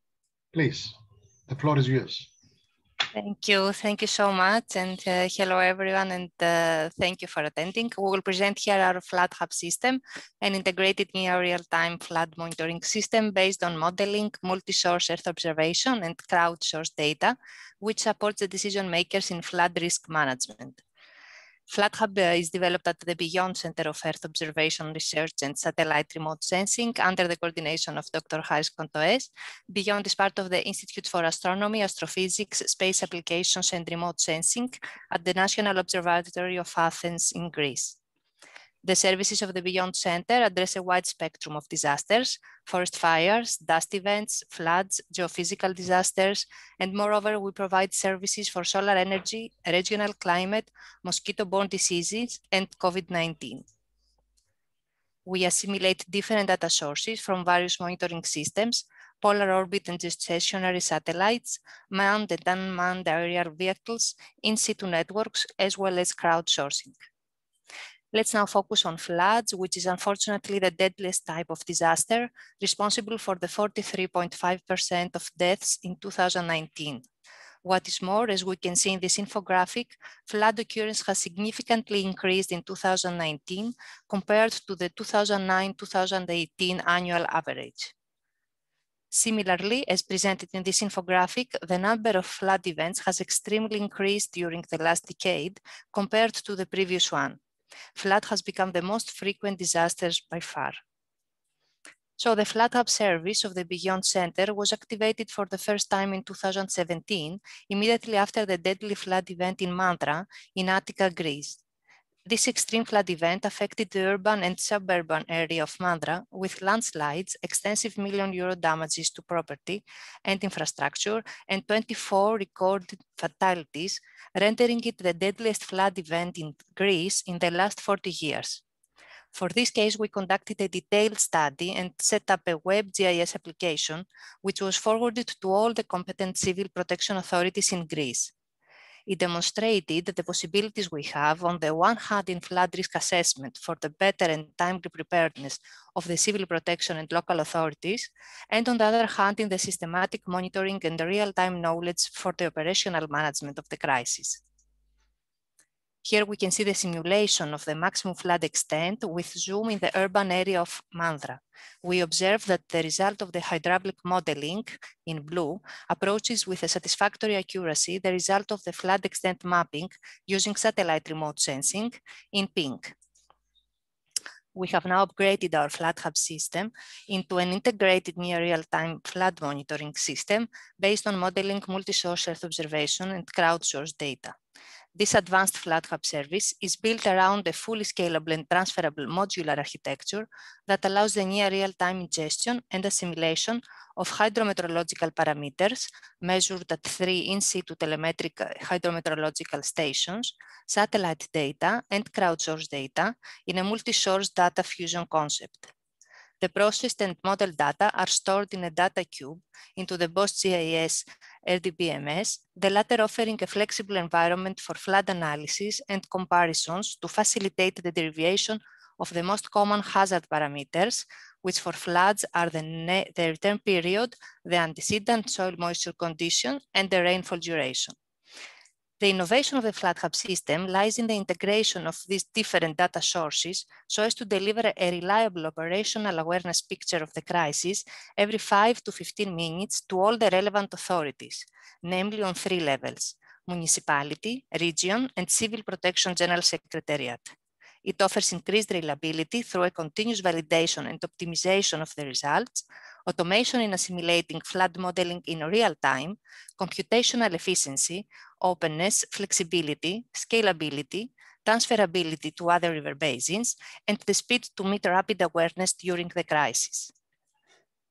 So for the needs of our upgraded operational FloodHub system, in 2020, last year, we installed three state-of-the-art telemetric hydrometeorological stations in three critical locations of the Mandra River Basin. This was co-founded by the Hellenic Petroleum SA and the European program SMURBS of ERA-Planet in collaboration with the Attica region and the Metrica company. We have recently upgraded the network in the framework of the CleanPact project. This here is our web platform with the three telemetric hydrometeorological stations in blue, collecting and transmitting data in near real time in order to cover the operational needs of the FloodHub system. The first station has been installed at the entrance junction of the Mandra city, downstream of the confluence of the Agia Katerini stream with the Sure stream. This station operates with electricity provided by the region of Attica, so it can provide data every five minutes. The second station has been installed upstream on the diversion, the new plan that the new work that was planned and uh, was finally uh, delivered this year, previous year, of the Yekaterini stream to the Sure stream. This station operates with a solar panel and provides data every 15 minutes. And the third station has been installed in the Sure stream in the mountains area. This station operates with a solar panel and provides data every 15 minutes.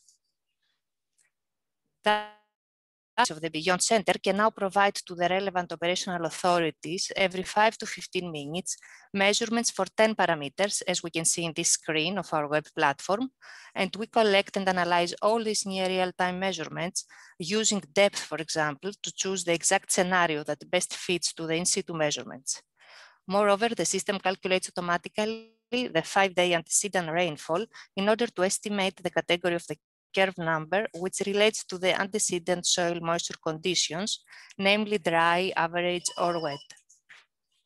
In addition, we have developed a dynamic crowdsourcing platform to receive real-time flood extent and water level estimations from certified users, such as trained civil protection and fire brigade staff, as well as volunteers, for disaster management using machine learning techniques.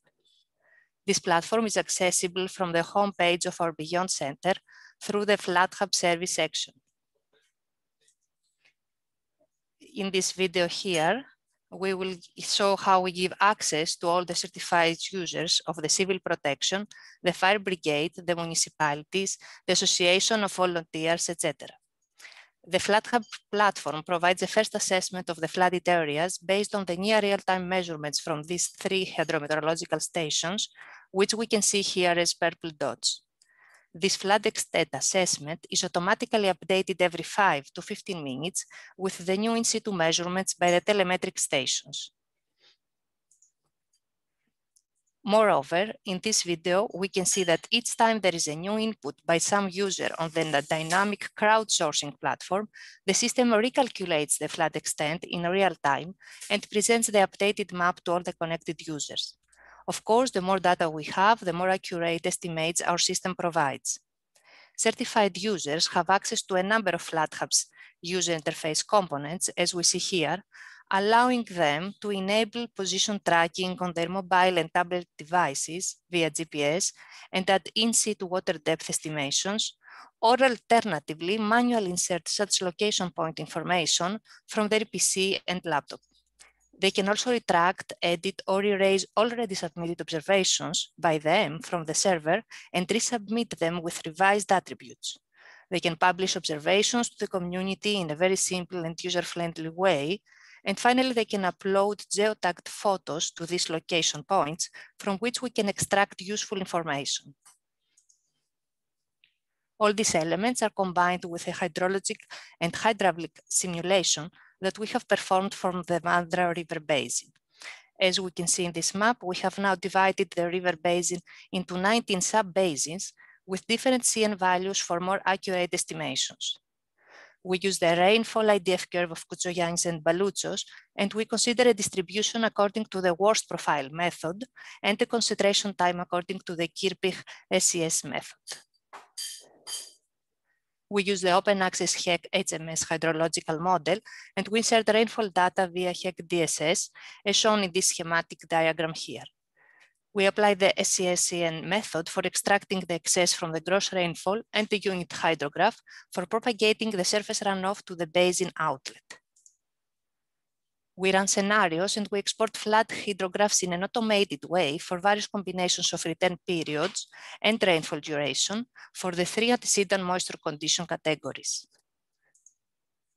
We use the open access hydraulic model HEC-RAS, and we execute the scenarios with a spatial resolution of 2D mesh at 10 meters based on the DEM provided to us by the National Cadastre and Mapping Agency SA of Greece at 2 meters spatial resolution. We add the banks and the road network through break lines, as well as the flow hydrographs for each stream of the hydrographic network. We present here the results for the combinations of return period 50, 100, 200, 50, 500, and 1000 years, and the rainfall durations 3, 6, and 9 hours, and all the three antecedent moisture condition categories 1, 2, and 3. Here you can see the range for 50 years return period, 100 years return period, 200 years, 500 years, and finally 1000 years return period. In this map, we present as an example of our upgraded system, the comparison between the actual and simulated flood extent of 2017 inside the urban area of Mandra. In pink, we can see the very high resolution satellite-based mapping while in blue color, the simulated extent of the scenario with return period 1000 years, CN3, the wet conditions, and rainfall duration six hours. It is obvious that the accuracy of the flood extent estimation has been further improved. Therefore, the Flood Hub system is a useful tool in the hands of the relevant authorities and key stakeholders supporting their decision-making process.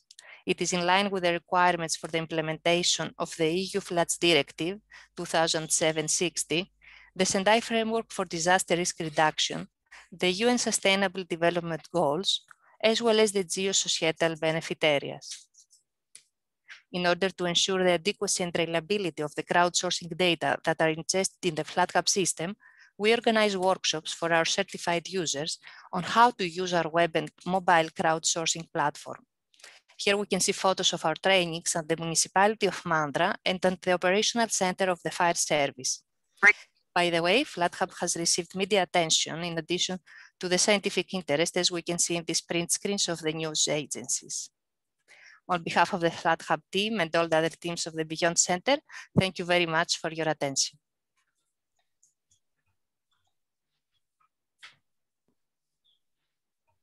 Thank you very much, uh, Dr. Tsouni, for your very interesting presentation indeed. Thank you very much. Uh, now I call uh, Dr. Haris Kontoes. His talk will be on uh, Earth, Earth observation-based early warning system for mosquito-borne diseases, an operational application in EU. The floor is yours, uh, Haris. Th thank you, th thank you very much, Silas. Uh, good afternoon. Can you hear me well? Perfect. Yes. Okay, and you see my screen, I believe. So, Perfect, thank you very yes. much again. Um, it's uh, it, indeed my privilege to speak on behalf of the EYWA uh, consortium, uh, which is uh, comprising of um, a good number and of esteemed colleagues and key professionals at European Union level. And uh, all these organizations are uh, actually dealing with the main problem of mosquito-borne disease control in the in European but also non-European territories. Uh, my presentation is uh, about uh, how it's possible to use big Earth observation data uh, for the generation of an early warning system for uh, anticipation of mosquito-borne disease outbreak. And I'll present you today an operational application of such a system in the European Union territory. Let me just uh, recall that this EYWA consortium and the system that has been developed is the fruit of a series of research actions, voluntary actions actually that uh, have been undertaken in the framework of the Eurogeo um, action group for epidemics. I have the honor to coordinate this action group and uh, I'm really privileged to work with all these organizations, scientists, researchers, and data providers who are uh, providing their expertise and skills on a voluntary basis for the development of this uh, uh, system. And uh, of course, what we try to address is the problem of, um, uh, of the disease outbreak in Europe, uh, a, a, a, problem which is re-emerging, especially during the last 10 years. As you see on this uh, slide, there is a lot of uh, spread of these uh, diseases all over Europe in, during the last 10 years, actually. And you will see here to the left that there is a, a, a, good number of some thousands of cases of human cases that have been reported in all in all these different countries of Europe in uh, in relation to West uh, Nile virus, malaria, dengue fever, Zika, and chikungunya viruses. Uh, most of them being responsible for the encephalitis disease. And so, what is EYWA? EYWA is at the same time a vision, a network, but also a system Eh, a scalable, reliable, and uh, sustainable early warning system, uh, which, as I mentioned, relies on the integration of Earth observation data and the combined use of the Earth observation data together with entomological, epidemiological, and socioeconomic data so as to forecast the mosquito abundance, the pathogen spread, and the disease outbreak at, at, any, at any level, from local to regional or national, even even continent level. And of course, we are addressing priorities and we are dedicating to meet priorities of sustainable development goals uh, 3, 11, and 13 uh, for good health and well-being, for sustainable cities and communities and climate action.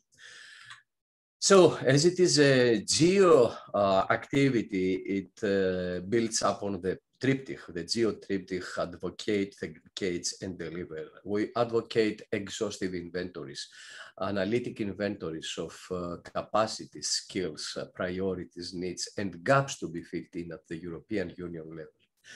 Uh, at the same time, it engages a big stake, uh, community of stakeholders, um, uh, public health organizations, civil protection authorities, regional authorities, together with scientists, researchers, uh, service providers, and data providers. And delivers a, a, a, set of digital uh, early warning services in the domain of um, uh, mosquito and mosquito-borne disease outbreak, together with um, a network of stakeholders of European and non-European organizations acting uh, in the domain, and of course an action plan, a roadmap uh, which is providing the European standards towards setting a standard for service, but at the same time quality um, uh, level of the service. For the time being, uh, we are a consortium of 15 partners from five countries, Greece, uh, Serbia, Italy, France, and Germany.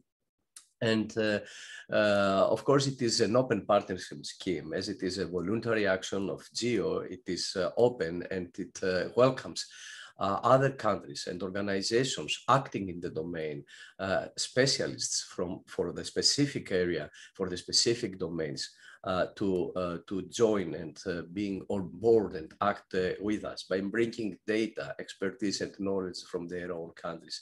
As we attempt to generate and deliver a European system, the most the, the more the countries and the bigger the data, the better the outcome to get up to the level of the European Union continent solution.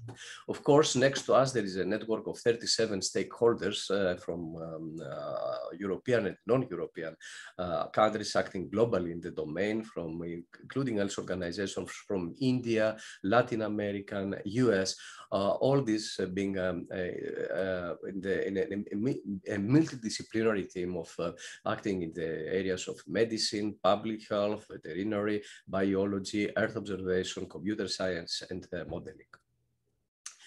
In general, EYWA, as you see on this slide, is exploits open and freely available data. This uh, ensures transferability and scalability of the system in other areas. It is using uh, a, a, European technology. It is uh, acting, uh, uh, accessing and uh, exploiting on a continuous basis Copernicus data and Copernicus contribution mission data, also Copernicus core services.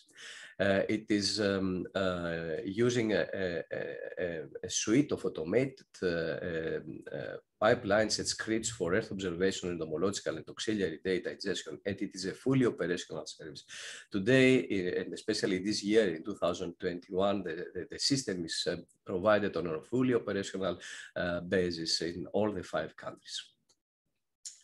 The system is uh, providing uh, uh, continuous ingestion of mosquito trap data, in situ data, public health authority data, so as to continuously um, feed into the system epidemiological data from public health authorities, as well as statistical information. At the same time, the system allows the federated access to many different portals of Copernicus and non-Copernicus um, and Copernicus contribution missions, Earth observation data, Sentinel data, but also data which are um, from other missions such as MODIS, Landsat 7 or 8 and so on, and also data which are accessible through the GEOSPORT. It, uh, the system is um, empowered by a suite of APIs which are developed to be fully automatic uh, to allow uh, continuous and uh, automatic data harvesting from the portals and the repositories I just presented before, as well as providing uh, automatic data pre-processing and index data derivation and the creation of the data and conversion of the data in the format to be ingested into the databases of the system. Of course, here at that level, we're using advanced European technologies such as the DIAS platform, so as to, uh, um, to have uh, cloud IT and uh, storage capacity capacities. Uh, in the specific case of AI, we are using a lot the CREODIAS platform, but also Google Earth Engine in order to have continuous access to uh, uh, to big data uh, storage of Landsat 7, Landsat 8, because what we want in the end to have is to have access to the satellite data and all the other type of data for the last 10 years over the entire Europe. So all this um, um, infrastructure is very useful for us uh, we are dealing with uh, big data management. I mean, just to give you an example, for, example for the time being, at any time we do a, a, prediction uh, in, through our models for mosquito abundance or for human uh, case risk, we are dealing with more than uh, uh, 278 terabytes of data um, processed on the fly.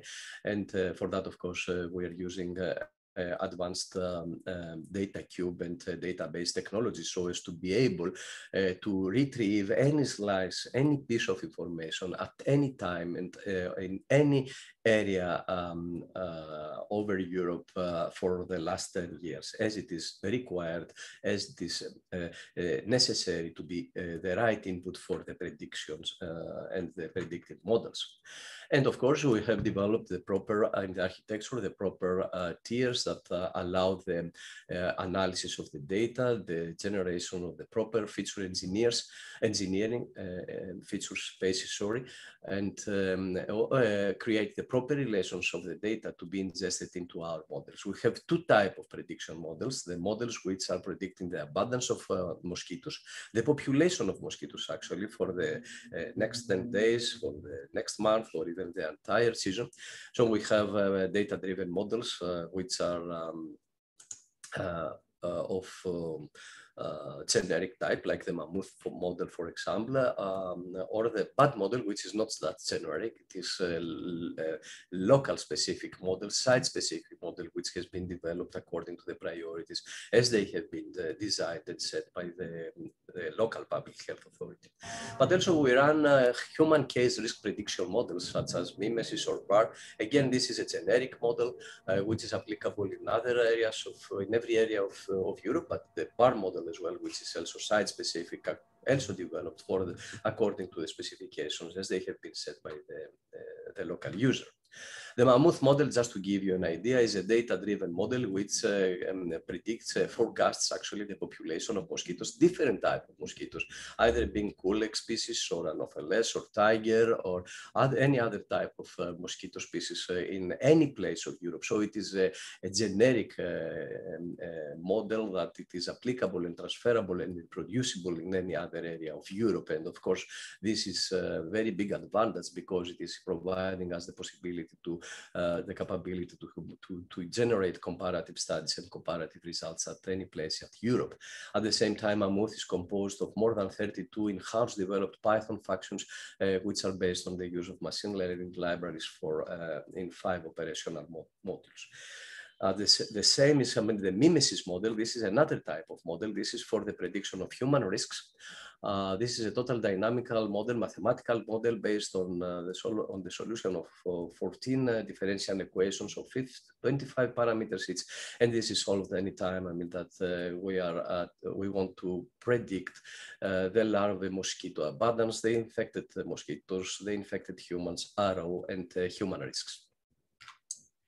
Of course, all we have developed in the EYWA, before it becomes operational, it has uh, undergone a very strict validation process. And uh, here you see um, what is the type of the validation we are performing.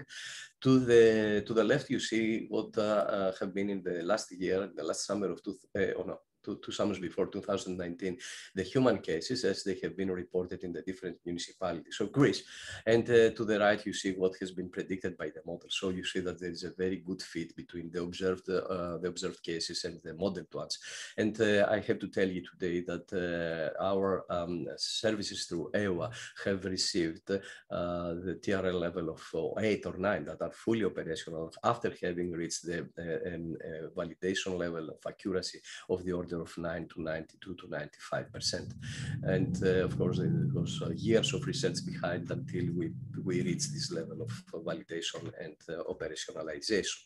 And because it is a user-driven um, approach, it provides the proper um, portals for the users to get access to the information in terms of um, maps, um, risk maps, mosquito abundance maps uh, and reports, the reports that uh, are delivered on a, on a, fifth, on a big, big weekly basis to the end users are also uploaded into the portal, into the EYWA portal to be consulted by the other authorities as well in uh, this year, uh, actually it was per, uh, implemented for the first time on a fully operational uh, basis the year before in 2020 in four regions, uh, in five regions, sorry, four of them in, in Greece and uh, one in Italy. And for um, this year, and it has started already during the last two years providing its services operationally over nine European regions in the five countries, Greece, Italy, France, Germany, Germany and uh, Serbia. Uh, in addition to the services I mentioned before about the human risk, uh, the human risk mapping, which is delivered on a monthly basis, or the mosquito population risk map, which is delivered on a big weekly basis, we also provide on a five-day basis the so-called um, um, mosquito nuisance information. This is a, a, smartphone application, uh, which is of course very useful for the locals, for people, for tourists, etc., that are visiting an area, uh, as well as um, uh, the mosquito abundance information, which uh, um, is, uh, is especially in the specific region of Central Macedonia, that it is very sensitive and it is too much impacted by by mosquitoes, the assessment of the mosquito population is taking place at the level, at the very fine level of the municipality, uh, which means that uh, every um, two weeks we calculate the, the, mosquito abundance risk in more than 1,040 municipalities in the region of Central Macedonia. In conclusion, the EYWA system uh, we say it is a sustainable and cost effective system. Sustainable, why? Because the partners have agreed and they have signed a partnership agreement to continue working together on a completely voluntary basis, providing their data for the next, at least for the next five years. And uh, of course, um, uh, this uh, provides a lot of sustainability and capability to us to continue developing our research.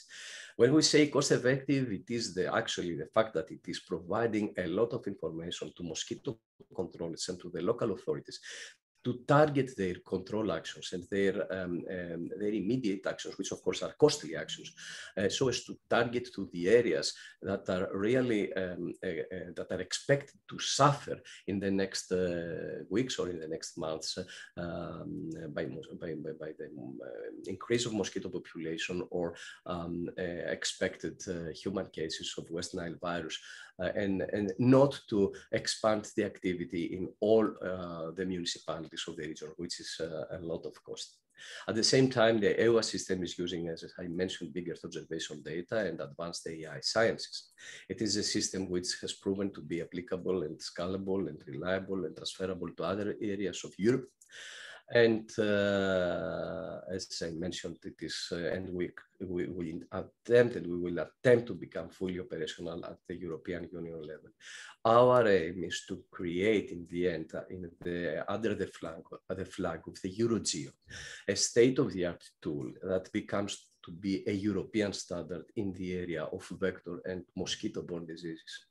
So uh, on behalf of the EYWA consortium, um, of uh, this multidisciplinary team working on a completely voluntary basis, on, but on a systematic basis at the same time for the development of this innovative uh, research and um, this innovative system. I would like to thank you very much for your attention and I will be happy to expand further with you. And of course, if you have any interest in joining this consortium, this partnership, uh, I will be happy to explain with you and, um, and um, exchange with you uh, how this can be feasible. Thank you very much for your kind attention. Thank you very much, um, Dr. Kontoes. I hope you can hear me. Eleni? Yes, perfect. That's okay. yes. Uh, thank you for your talk on this uh, very alarming issue of uh, disease spreading by mosquitoes, these very annoying insects anyhow. Uh, so we have the next speaker, who is uh, Eleni Louli, who is going to speak on precipitation and drought monitoring with ground-based X-band radars in Cyprus. Eleni, the floor is yours. Thank you, uh, Dr. Michaelides. Let me just, okay, share my screen. Uh, hello, everyone, again, now on another uh, role.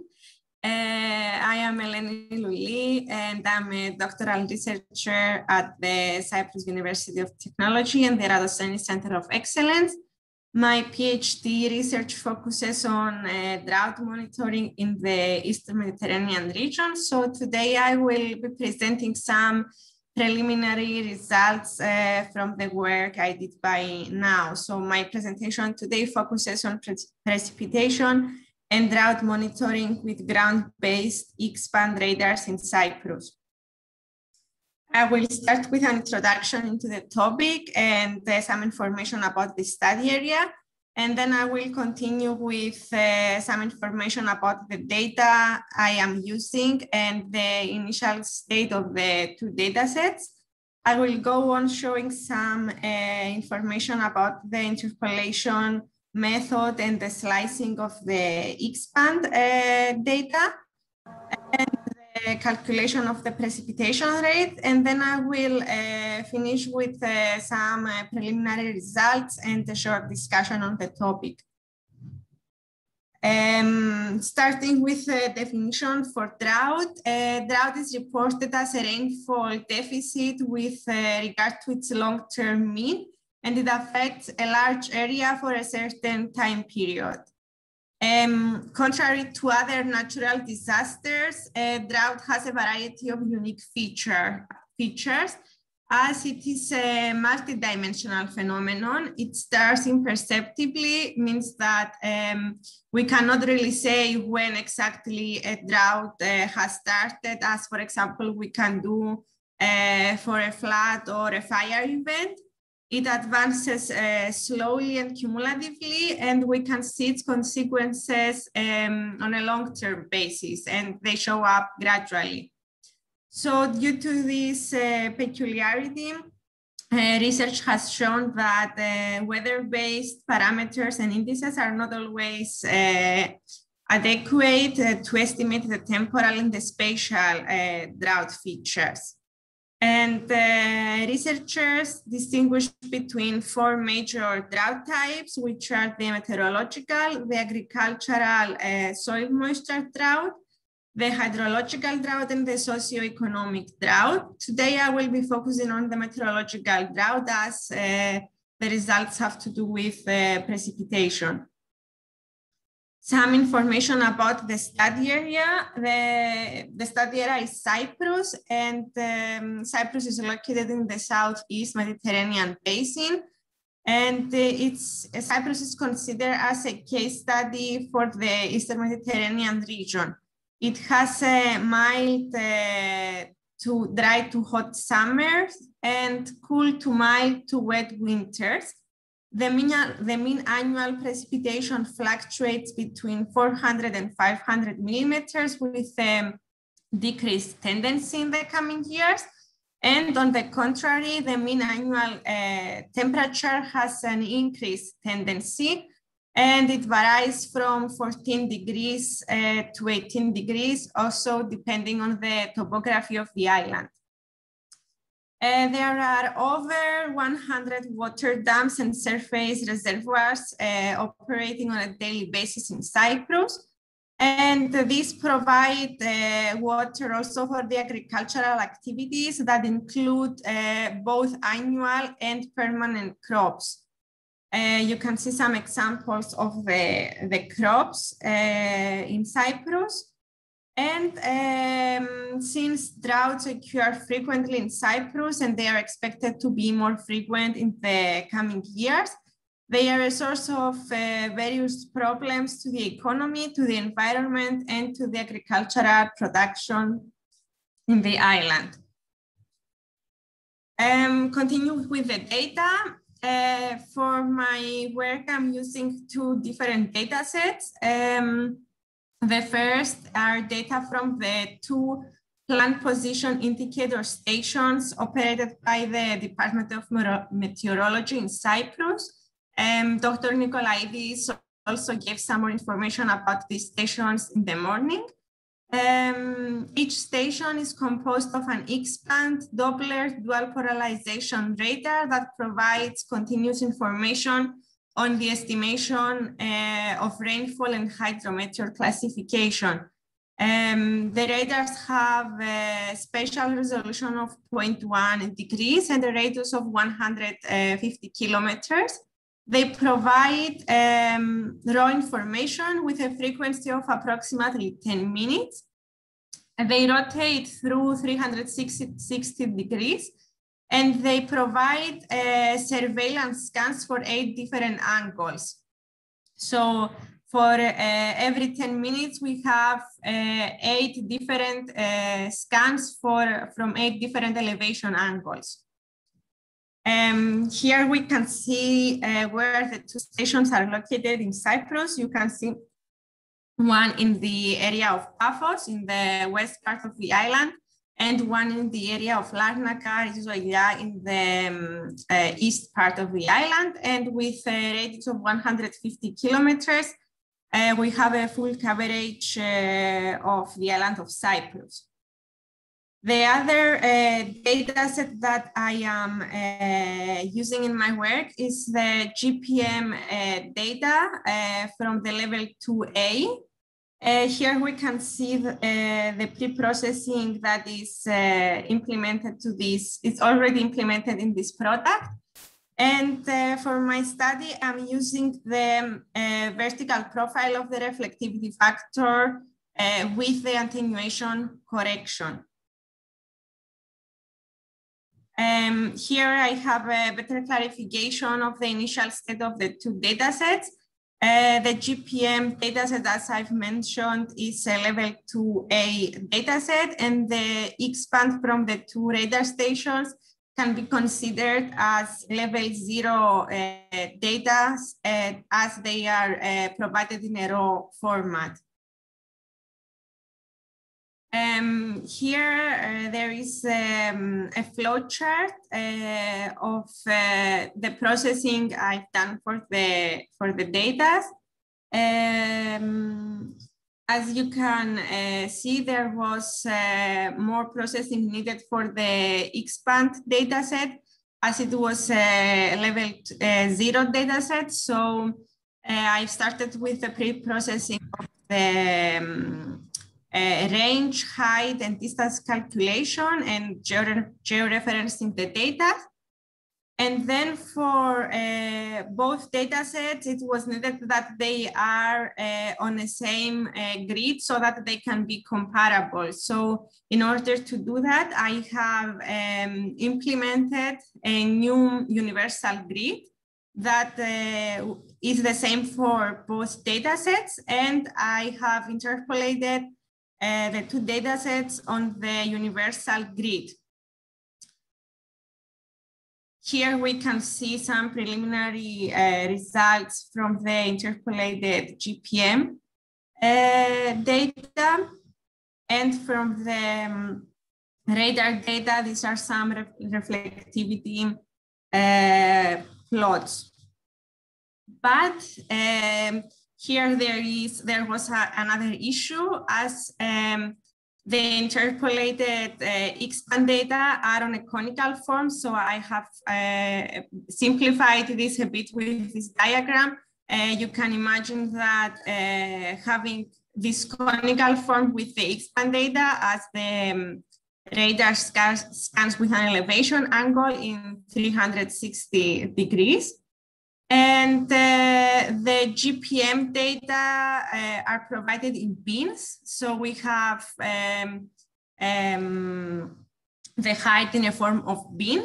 So these two data sets can still uh, not, cannot, can still uh, be uh, directly compared. So in order to, to tackle this problem, I have also interpolated the, the height of the X-band data uh, in order to basically uh, slice this uh, cone. Um, here are the results after slicing. You cannot really uh, see any difference as there are many uh, points. Um, but I have also tried to simplify this um, uh, plots after slicing, you can imagine that the X-band has this form of the, of the rings. And now uh, these uh, data sets can be compared in terms of uh, height as well. Um, after uh, comparing the reflectivity, the next step would be the calculation of the precipitation rate. And to calculate the precipitation rate, um, I have used the Marshall-Palmer uh, formula, which is the one you can uh, see now on your screens. I have also here some uh, preliminary results from the precipitation rate.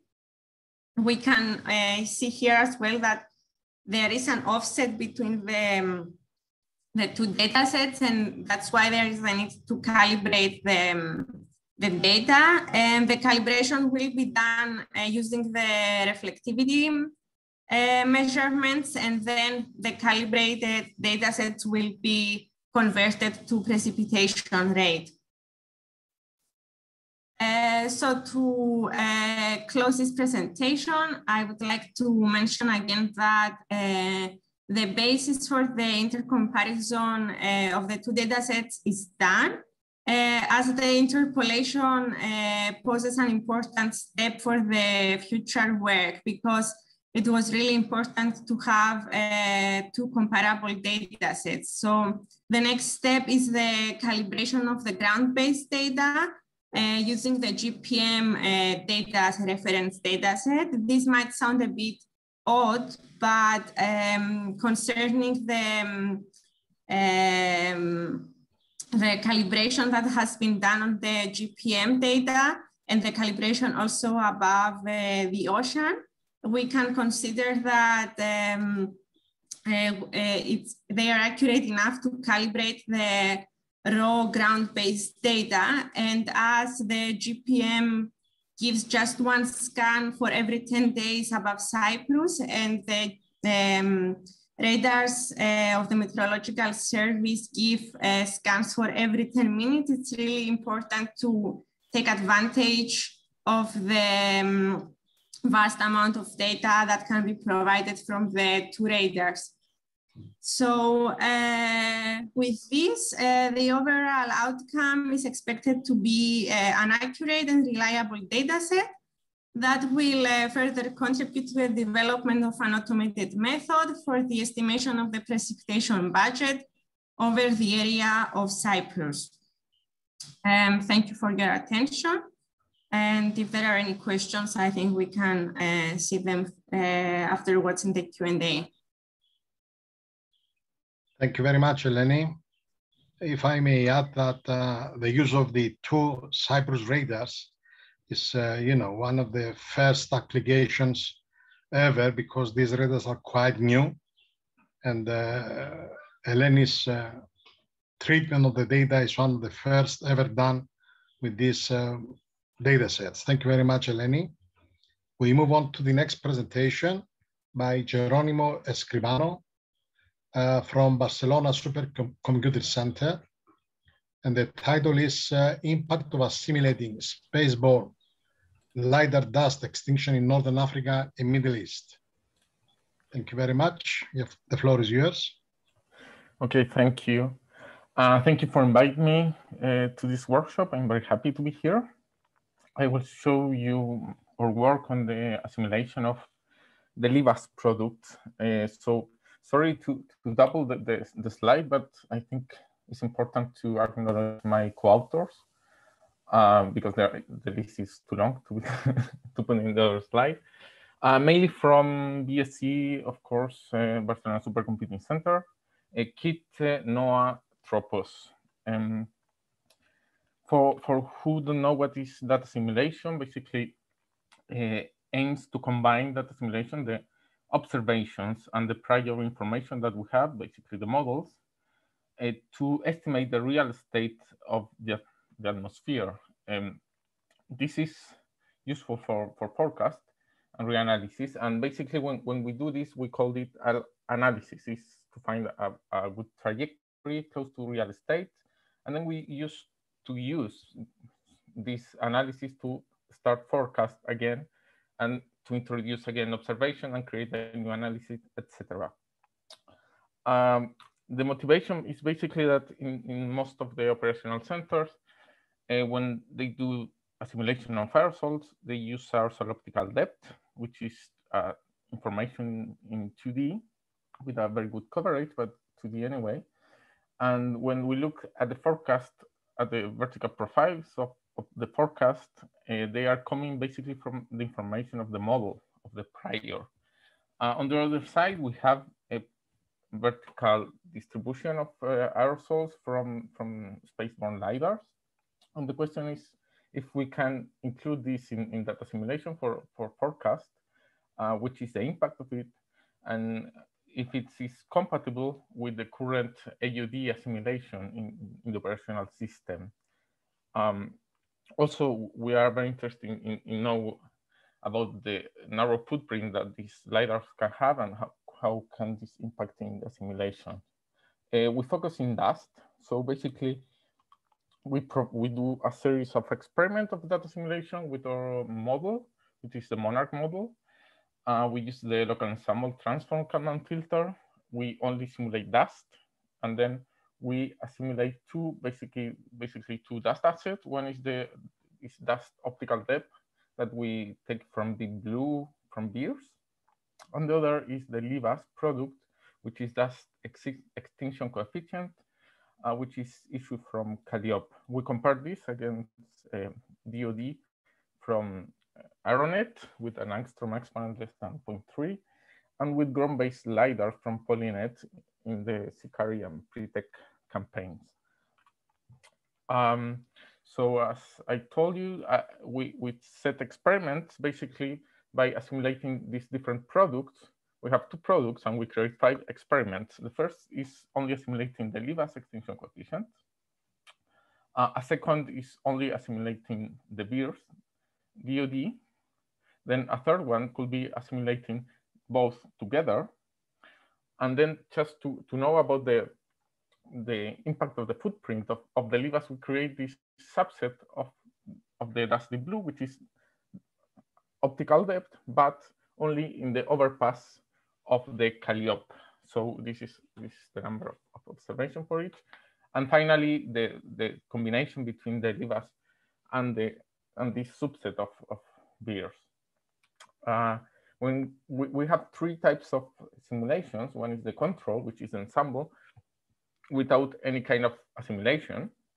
And then we have the analysis, which is include the, all, all the observations, and then the forecast that are initialized with the analysis of the day before, and they are used to create again the analysis for, for the next day. In, in our model, for example, as you can see on the left right, this is the average of the two months experiment that we perform. Uh, we have uh, overestimation. This is this is the model average, and this is the deep blue average. So respect to with the deep blue, we have overestimation in the in most of the Sahara and part of the Atlantic, and underestimation elsewhere. Then each of these columns are the different experiments where we assimilate all these data sets. And it can be seen that basically this is the forecast and the analysis that in the first row is the analysis minus the forecast. It's called the increments and it shows the influence of the observation into, into the analysis. And you can see that there, there are different uh, patterns for, for, for, the, for, for the deep blue that we can have increase here and decrease here than for the LIVAS that we have a decrease everywhere, but all of them decrease in Bodélé that is where we have most uh, overestimation. Um, in when, when we look at the vertical profiles, these are, are, are, the dust extinction coefficient for, for this region here. But the first row I will show you is, is all the domain. So in, in, the first panel, we have the dust extinction coefficient. And in the last panel, we have the change with respect to the control experiment of these experiments. So basically, in, when we assimilate the blue, which is these two red lines here, we shift the vertical profiles because we are biased, so we shift a little bit. But when we assimilate the, the LiDAR, the LIVAS product, we have a different pattern, a different shape in the analysis of the of the of the model and also in the forecast here. So that that means that, that the assimilation of vertical profile change the the, the, the profile of, of the model and, and hopefully is better than before. Um, we evaluate, kind of evaluate this with, uh, defining some scores, some typical scores. Uh, uh, in the middle, in the middle, yeah, in the middle, you can see the comparison with Aeronet. When you have the bias here, the correlation and some error scores, the green bars are the control without assimilation, the red is the forecast, and the blue are the analysis. And you can see that, for example, the correlation improves for all the data sets that we assimilate, and same for the errors score, they are better for all, all the data set. Uh, when we assimilate the blue in particular, we have better scores for the errors and for the uh, correlation coefficient. But nevertheless, when we assimilate LIVAS, we also have improvements in these, these scores. Um, in terms of the profiles, we compare our model with, with the LiDARs from, from these two campaigns here. Uh, I, there are three LiDARs. I only show here the plots of two of them, one in Limassol and one in Haifa.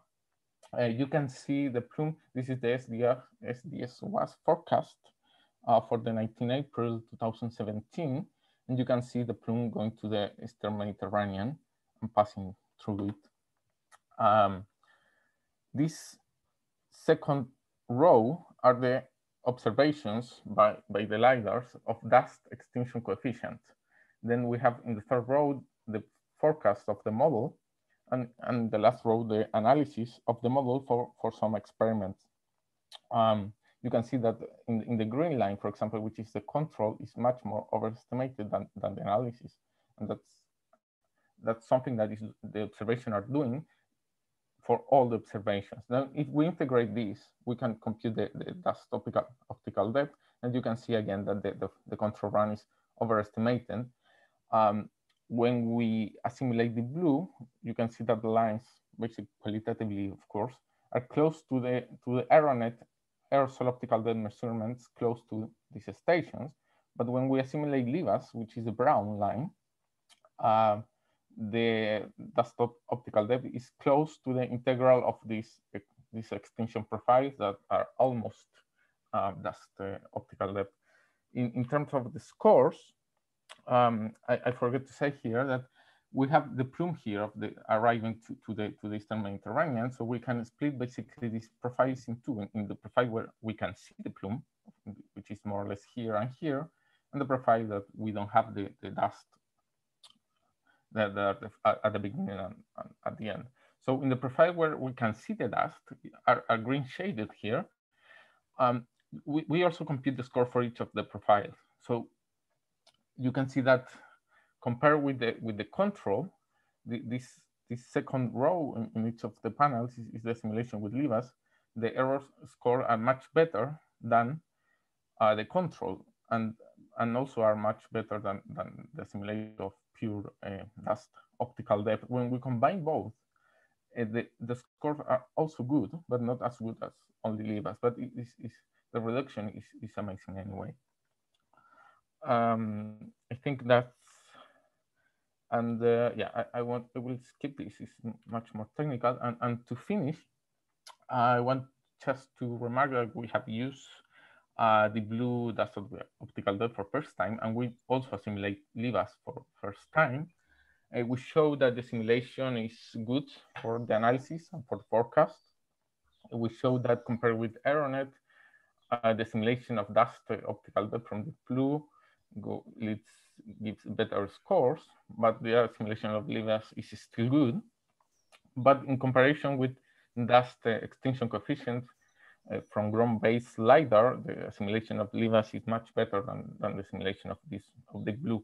We also show that when combined both, it provides a second best score for, for either for both of them, for the uh, dust optical depth and, and extinction coefficient, and could be very good for, for forecast, operational forecast. Um, finally, we remark that this can be done only I mean, we can do it because we have CALIOP that that allows and, and an algorithm, of course, that allows to to extract the dust uh, signal from from the from the backscatter signal. So to, to give continuity to this could be, in fact, very useful uh, for, for operational forecast and, and for research of dust. And thank you very much uh, for listening. And if you have any question, I will be happy to answer. Thank you very much, uh, Dr. Escribano. Uh, all the questions will be asked and answered at the, the, at the end of the session, this session. So thank you very much for sharing with us uh, your results and your experience. Uh, we move on uh, to the next presentation by Dr. Antonis Gkikas from the National Observatory of Athens, improving dust and marine modeling through Aeolus wind assimilation the floor is yours. Thank you. Thank you very much for the introduction and also for the invitation to participate in this workshop. I hope that you can see my screen in presentation mode, right? Yes, everything is fine. Thank you. So my name is Antonis Gkikas and I'm coming from the National Observatory of Athens. And the talk of my presentation will be about the improvements, the potential improvements on, in aerosol modeling through Aeolus wind assimilation. Here is a structure, the outline of the presentation. We will start with a brief description about the necessity of wind observations in aerosol research. Then we will move with some key information about the ESA Aeolus satellite mission. And data from Aeolus satellite have been used in the Newton and Coral ESA project.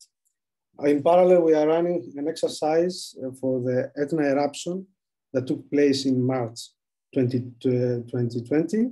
And finally, uh, will be a brief description about uh, how we will, how we are about our ongoing work and how we will expand the current activities.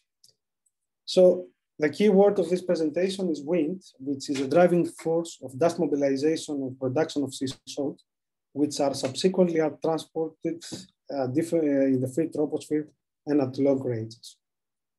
And it is critical to have the optimum representation of these uh, natural components in numerical simulations in order to have the optimum assessment of their impacts on climate, on radiation, on environment in general, as well as on health, uh, on human health.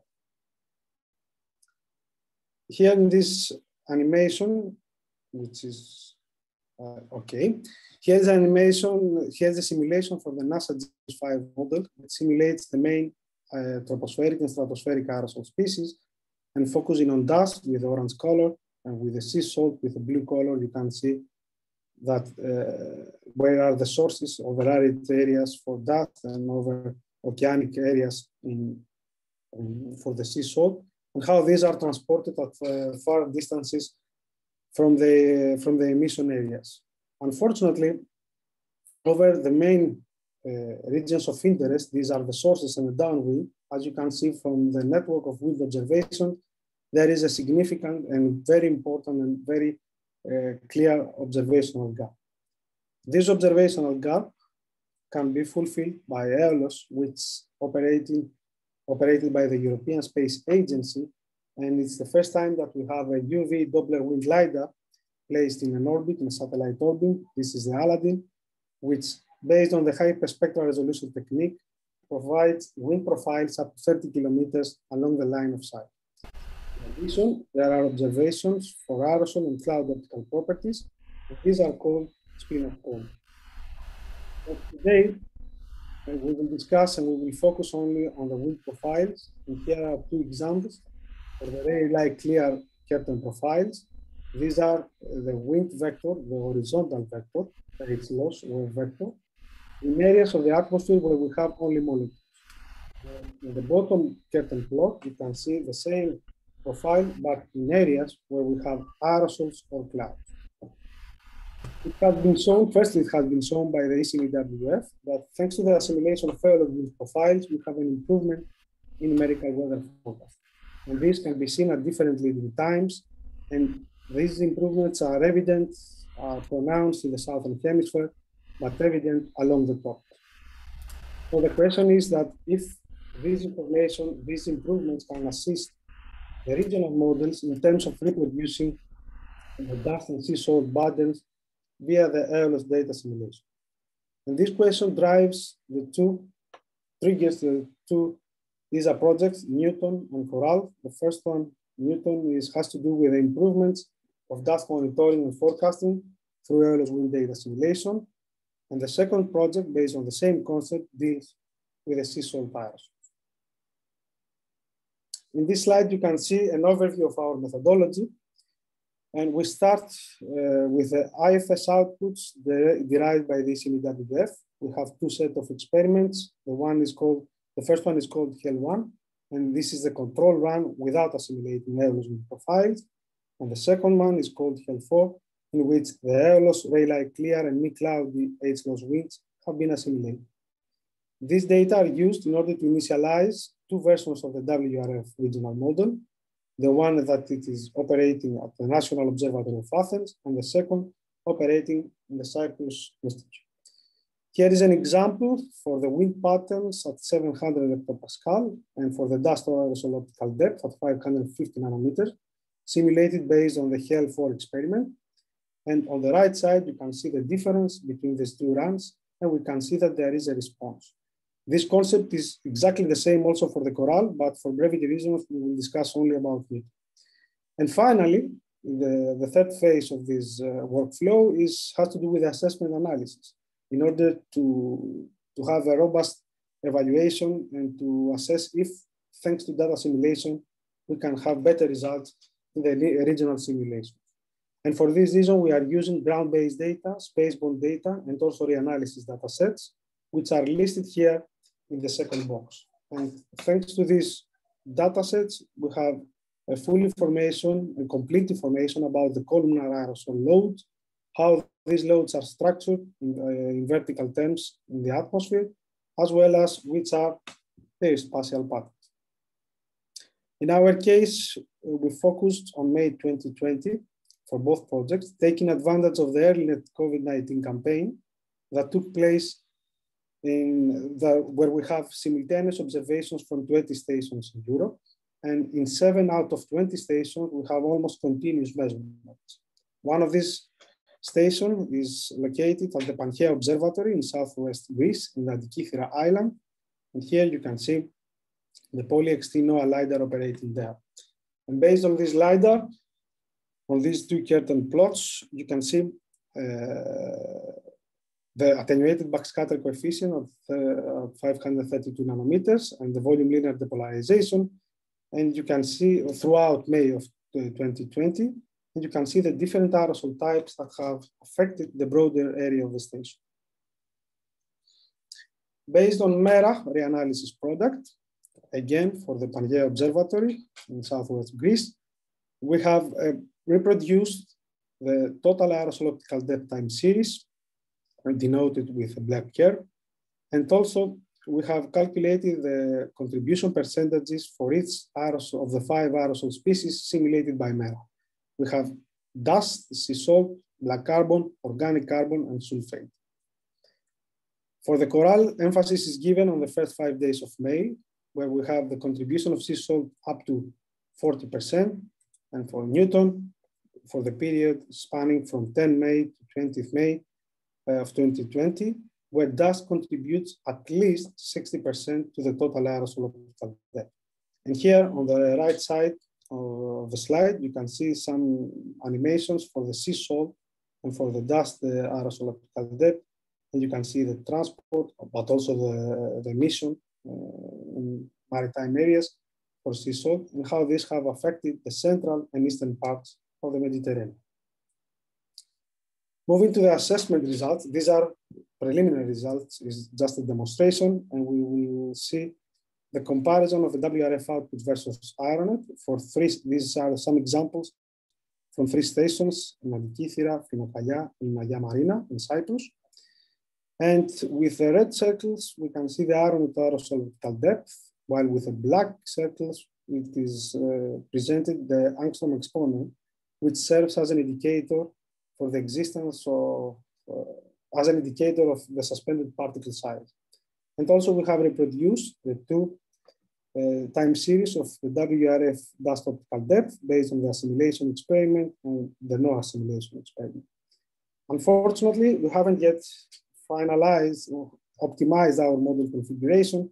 And for this reason, we have large model overestimations. And currently we are working on a better definition on the tuning factor. The same analysis, but for the vertical structure of the dust layers has been performed against, uh, again at uh, the Keith Island. In the upper panel, you can see the two curtain plots of the dust extinction coefficient for the no assimilation and for the assimilation experiments. Here is a difference between these two runs. And always as a reference, we are using the ground-based profiles, in this case is from the Polly the same finding that we have seen also before for Aeronet, we have large overestimations in both the WRF experiments. And if through the subtraction of these two runs, we can see that there are some evident clusters of positive and negative tendencies, which means that there is a variation in the vertical structure of dust layers. But we need to, to continue our analysis in order to confirm if we are going to the right direction. And of course, to provide a robust explanation about why these variations are taking place, are happening. The same analysis has been performed also uh, by utilizing LIVAS, which has been built based on CALIOP CALIPSO profiles. And here we are evaluating again the WRF. This is an example of the CALIOP overpass crossing the Eastern Mediterranean. On the upper curtain plot, this is the LIVAS pure dust, pure dust. This is the dust extinction coefficient. And you can see also the corresponding curtain plots for the no-assimilation and the assimilation experiment. We have a well reproduction of the dust layers that are by WRF, and I, do, I don't want to repeat again the large overestimations that we are finding with the existing model configuration. And in order to complete our assessment analysis, uh, we will use the recently developed MIDAS dataset, providing columnar dust optical depth at 550 nanometer on a daily basis and on a fine spatial resolution. And here you can see the global annual and seasonal uh, distributions of dust aerosol optical depth.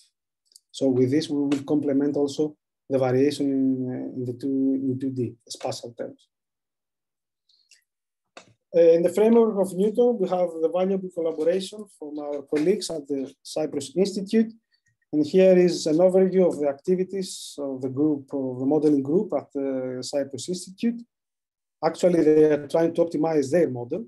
And here are some results with, uh, for different periods and at different spatial resolutions. And we are planning to, to perform joint experiments in the framework of the Newton project. Actually, uh, also, uh, in addition, I would like to mention one study that currently we are performing at the National Observatory of Athens. And this has to do with the Etna eruption that took place on mid-March of 2020.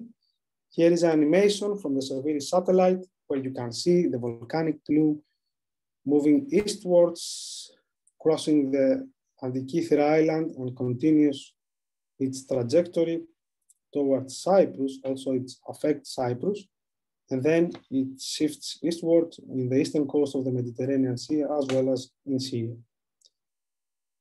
Based on our preliminary simulation runs with a FLEXPART WRF model, we can see that we have uh, that the model is able to capture this plume as this has been captured and is, uh, is depicted from the ground-based LiDAR in Antikythera on 12, uh, 12 March.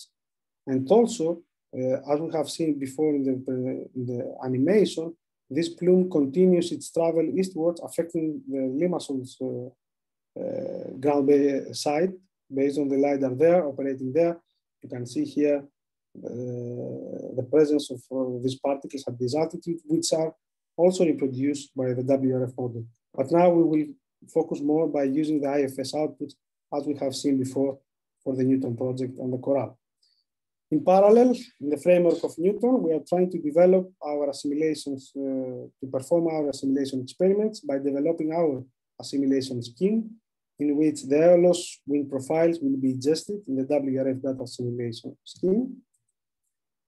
And of course, we want to evaluate the performance of the model uh, in terms of reproducing the dust patterns, but also meteorological parameters. This is an example of a temperature profile.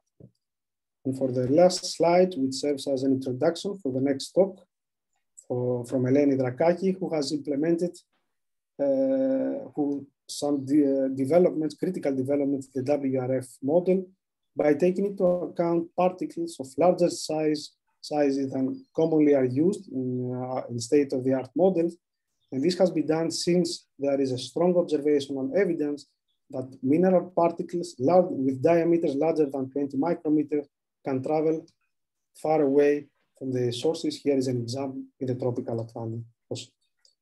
And to summarize, we have seen the, some basic information, the concept and some preliminary results about the Newton and Coral ESA projects dealing with dust and sea salt aerosols. Our expectations our expectation is to highlight the benefits and the necessity of wireless data and aerosol research, paving the way for future operational satellite missions.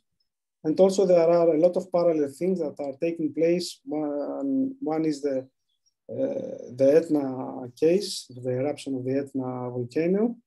Also, we are trying to develop our simulation scheme. And finally, we would like to see how much we can improve further the dust modeling capabilities, but in this case, taking into account more realistic and more actual uh, transport size bits. Thank you very much for your attention, but also for the invitation and also for organizing this nice and very interesting work. Thank you very much. Thank you very much, Dr. Gkikas. Very interesting and enlightening presentation. Thank you indeed.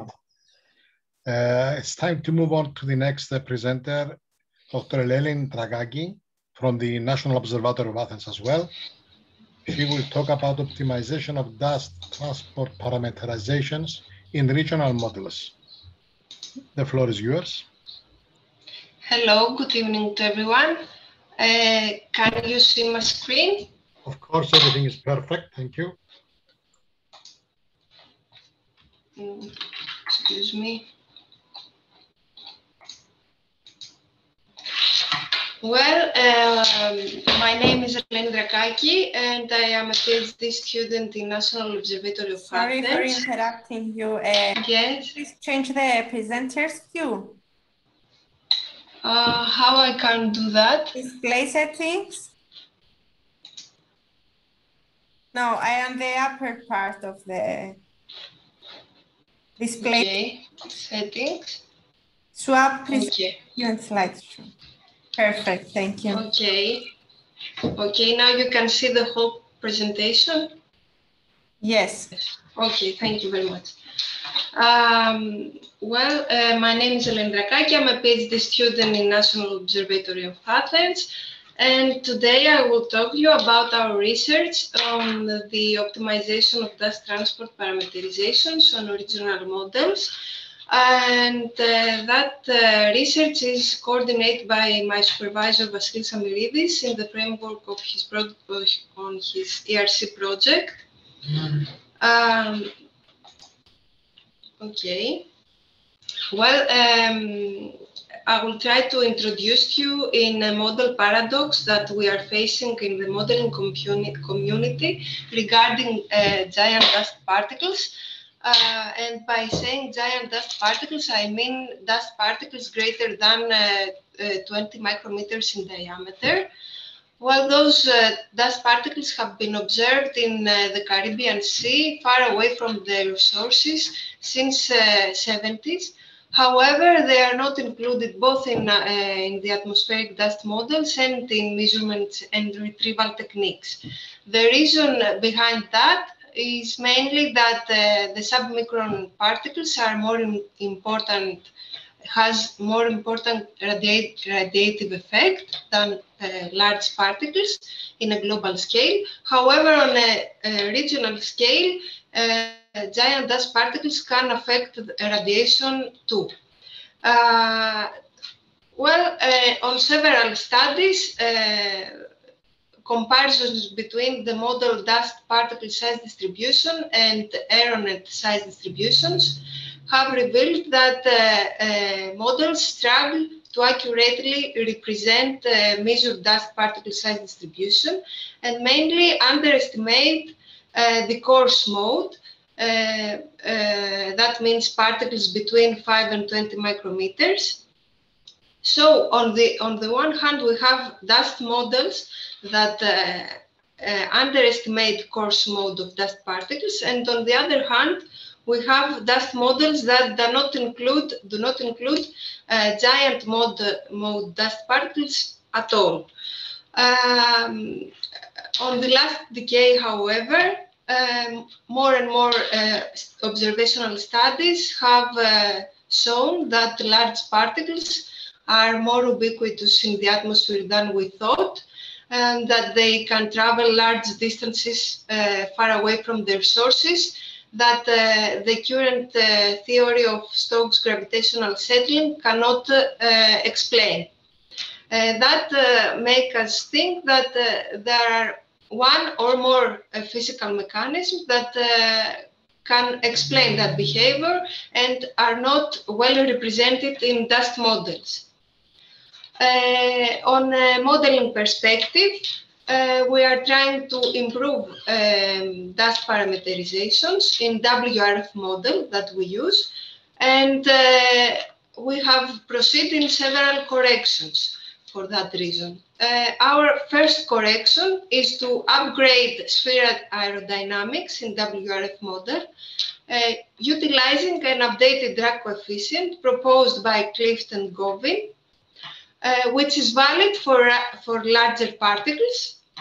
And we have uh, tested uh, the performance of that updated drag coefficient for the dust particles with sizes up to 20 micrometers as in as there are in the original w, WRF code. And we have seen that uh, the, the updated drag coefficient results in slightly uh, lower velocities for the dust particles and uh, on a slightly uh, increment on dust load in the simulations.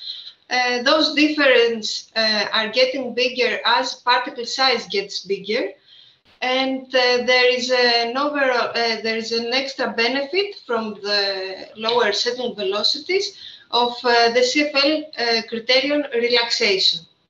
However, the critical point uh, of that is that uh, this drag coefficient is uh, valid for the giant mode of uh, dust particle, particles, and that leads us to our second correction, which is to include giant mode uh, dust particles in WRF mode.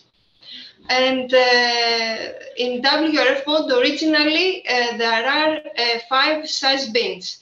The greatest size is 20 micrometers, whereas in our development, we have extended the, that size up to 100 uh, micrometers, redefining that uh, five size bins. Moreover, we have used uh, the uh, particle size distribution of, uh, measured during the Fennec campaign above the Sahara dust sources to uh, distribute the uh, modeled dust uh, dust emission flux to that uh, seven uh, to that five size bins. Uh, furthermore, we have uh, to validate our result. We have performed simulations during the period of AER-D campaign uh, in the vicinity of uh, the Canary Island and uh, Cape Verde in Atlantic Ocean. And our simulations are on a Mesovita scale. We use uh, the measurements from the campaign to validate our models. That measurements uh, are dust particle size distributions and dust profiles. Uh, in addition, we use uh, Aeronet uh, measurements uh, of aerosol optical depth and satellite retrievals in order to validate the performance of our simulation. From the results of the comparison, we can see that the model succeeds in uh, capturing most of the dust emission structures and perform an overall uh, good dust spatial distribution. Uh, further, in the comparison with the measurements of particle size distributions, however, we can see here in the right side uh, plot that uh, when we compare the results of our model, both the control run, uh, the original WRF in blue line, and the new run in uh, orange line, we can see that the model fails to reproduce the observed particle size distribution, mainly for the particles uh, uh, with sizes greater than 10 micrometers. Uh, and in some cases, that holds for finer particles. actually, there is a mechanism that is missing from the model, and we are uh, perform some extra investigation to uh, see what is um, what is behind that. Uh, to do that, we have performed uh, sensitivity tests uh, where we uh, reducing the settling velocity of the dust particles by inducing an artificial updraft that is equal to 40, 60, and 80% of the parting settling velocity. Uh, on the plot, uh, you can see uh, with uh, the green, red, and purple line the results of the particle size distribution for these three sensitivity tests, 40, 60, and 80% respectively. Um, that result charts for the flight B920, 920 uh, of uh, campaign, and we can see that the model succeeds the best performance for a reduction of 40% uh, of the settling velocity. However, uh, in uh, in the flight B924 and B928, uh, the best performance is uh, succeed for a reduction between 60 and 80 percent. Uh, we can see that uh, this um, reduction, the, the optimal re reduction is uh, case sensitive. And we, in the current state, we investigate the possible reasons that are behind that um, variability. Uh, towards our third correction that is uh, in progress uh, under NOA, uh, we are um, making uh, more, more, um, more a better representation of the shape of the particles that is close to reality, closer to reality, assuming dust particles to be uh, to have the shape of uh, prolate ellipsoids. Uh, that assumption is made both in dynamics and radiation. Uh, regarding dynamics, we have developed a new drag coefficient for ellipsoids uh, presented by Mallios et al. 2020, uh, where we have found that prolate ellipsoids fall faster than their volume equivalent spheres, but spheres fall fast fall faster than prolate ellipsoids with the same size. And uh, we have uh, tested, um, in addition, the, the orientation of the particles and the impact on the settling velocities. And we have seen that uh, uh, particle velocities with uh, horizontally orientation, horizontal orientation, fall faster than uh, particles in um, vertical orientation. Uh, uh, also, in uh, radiation, we assuming ellipsoids by inserting in the model uh, optical parameters uh, calculated for ellipsoid uh, particles. Um, in summary, uh, we have uh, run several improvements under uh, National Observatory of Athens. We are using WRF model and we are using high quality observation to evaluate our experiments. Uh, apart from the airborne, airborne in situ particle size distribution, we use CALIPSO and ground-based LiDARs, MODIS and MSG passive satellite sensors. And uh, at this time, we have uh, included uh, an updated drag coefficient for spheres. We have introduced coarse mode in WRF, and we are testing um, several assumptions for ellipsoid particles. We are planning to test irregular particles as well, and we uh, test uh, the impact on radiation on all the above uh, considerations. Uh, of course, uh, the results are encouraging, and we are planning to uh, validate our results with observations from other campaigns, such as ALIFE and ASKOS campaign that is going to um, take part the next year. And uh, at this time, I would like to thank you for your attention. That was from me, and I will be glad to answer at any question. Thank you very much. I wish to thank uh, Eleni Drakaki for her presentation. Also interesting, and uh, you must agree with me that during this uh, last session, we had a very good flavor of uh, uh, a number of applications of using remote sensing data in modeling weather and climate. I think uh, we had a very good uh, set of examples. Uh, now I have to switch on to Eleni Louli, who will uh, moderate the discussion, if I understand correctly. Thank, uh, wish to thank all the speakers on behalf of the organizers and wish you all the best. Thank you very much. Thank you, Dr. Michaelides, for chairing this session. Um, we can now uh, take some questions to uh, the speakers. Uh, not all of them are with us, but uh, if there are any questions for uh, any speaker who is not uh, online now, we can send it by email or you we can give you their emails to, to contact them.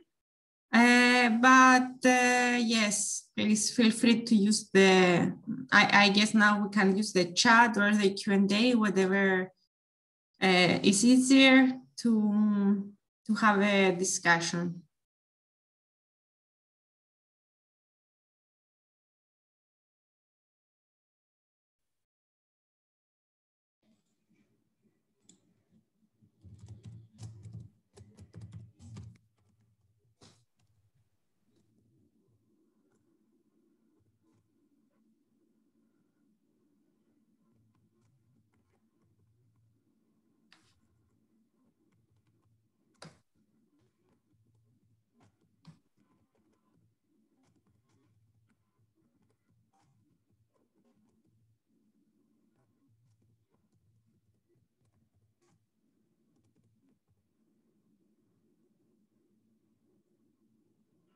I think everyone is tired.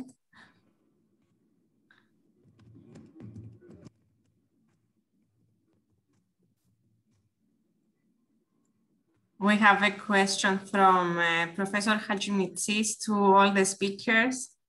Uh, how the remote sensing users can be supported to apply an efficient atmospheric correction. I don't know if there is anyone willing to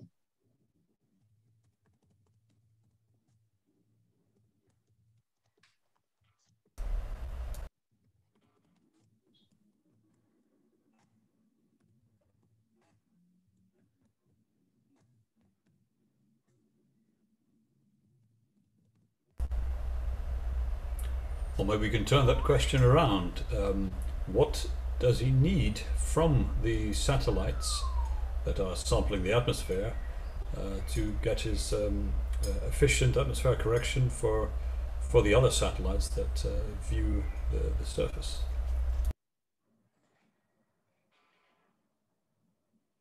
Just to clarify, Eleni, uh, what I mean, I put the question on the chat uh, I saw a lot of presentations. I'm coming on the other part for, from a remote sensing user. Uh, there are existing atmospheric correction algorithms that are well-established models or uh, image-based techniques for, uh, for optical uh, remote sensing images like Landsat uh, TM, like Sentinel-2. And one of the most important parameters is to determine the aerosol optical thickness uh, in different areas. Uh, the quick way, if there is an Aeronet station, you can collect them in the nearby area, or there is a, a big uh, gap, especially in the, in the near infrared, uh, on the passive remote sensing images, to, to measure the water vapor thickness. Is it any way uh, to support this research for developing or using an efficient atmospheric correction algorithms uh, using uh, aerosol optical thickness using inverse modeling or water vapor thickness determination? Uh, because I saw a lot of uh, a lot of presentations I mark some of them that probably are more familiar to this question, but this is an open question to all of the speakers. Hello? Raising hands, so yes, maybe there. Okay, I have raised my hands. I don't know if anybody else wants to talk, but then I, I cut the ice. Uh, my name is Raquel de los Reyes. I am uh, in charge of the actually one of the level uh, the one software for the level two processors of two hyperspectral missions. And okay, first of all, congratulations for this. Uh, has been really uh, good uh, insights uh, about aerosols and missions and what is monitor. It's a fantastic work. And actually it would be really interesting to access it because uh, there is very, very detailed AOT measurements, uh, you, you, have pointed out, uh, it's very important, the AOT. uh, basically is one of the things. And I'm really interested in Cyprus or regions like this when you have a very high values of the AOT because uh, although there is many Aeronet stations all worldwide, I, I, guess fortunately for the human race, the AOT is not so high. So it's, uh, especially for example, in, in Europe, you cannot reach uh, something really random or in special occasions, let's say, very high levels of AOT.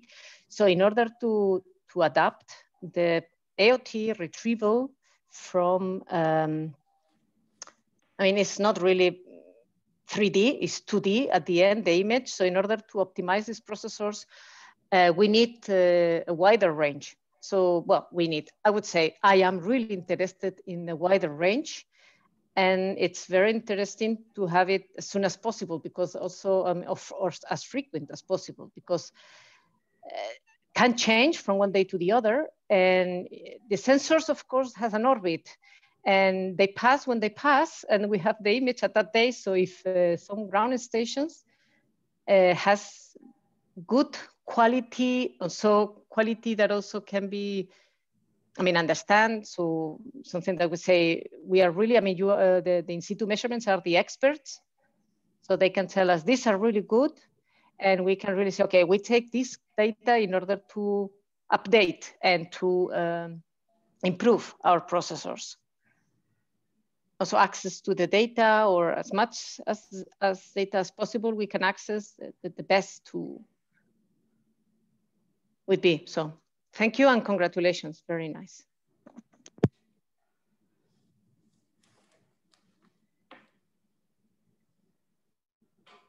Thank you too.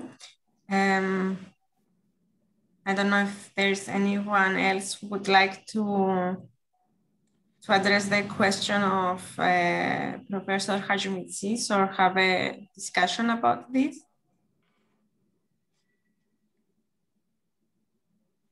Maybe I give also a comment to that. Uh, Diofantos, I guess most of the satellites have already their aerosol correction scheme. And uh, if, even if it's Landsat or MODIS or so, I know very well they have them. And that is why Alexandra, for example, showed from Israel showed what is going on if you take MODIS and you have very complex aerosol profile structures. And then you will see that the aerosol model in this MODIS radiative transfer code is failing. So it cannot handle very complex aerosol structures. So uh, I think every satellite uh, mission has the aerosol correction scheme, but it's difficult to get it right if the aerosol properties are really strange. That is the answer to your question, I guess. And that is why you uh, bought 10 years ago almost a LiDAR to, to see really the structures over Cyprus and to make a much better corrections. I think that is that is what we should show if we have Excelsior and, and the ECOE. We should really show that you, they are in trouble if they uh, if they just use their simple model that is uh, over the Mediterranean, I'm sure, that is marine aerosol in the PBL and maybe some dust uh, above. And the dust is pure. They never expect that the dust is full of smoke. That is what we saw uh, about Israel. But maybe I have, uh, I want to have a, another comment because I, I'm happy that Johannes uh, brought together so many exciting speakers and that we got a full overview over the uh, over all aspects. And we should just uh, tell and keep in mind, I tell it to also to Diofantos that we, we saw the full spectrum. We have LiDAR, we have in situ, we have airborne measurements, we have UAVs, we have the modelers in the boat, assimilation, and in a few weeks, a few year, in, in two years, we get a big EarthCARE mission. So that is so fantastic. And we had a, a meeting where we really could feel like a family today so that we have uh, the contact to all these persons to make a really big story in two years. And then we can come up again with all the complex aerosol structures to, to, to convince the people that, that we need a system what is con, uh, that is consisting of orbital sensors and suborbital sensors. And and there is modeling in between, and we need the full complex instrumentation to, to get a much better view on all the complex uh, situations. That is my message at the moment. And uh, yeah, but to your question, is that's always simple aerosol correction, and that's not enough. Okay, thank you, Albert. Okay. I, I would like to thank also Tropos and all the partners, and especially Albert Johannes and his team for the excellent for their excellent contribution to this workshop. And I think I will give the pass to Albert to in the next few days to prepare a short uh, page with concluding remarks and exchange these remarks with uh, all the participants because this is uh, this was an excellent workshop and we are looking forward to collaborate to all these people in the next uh, few months or years.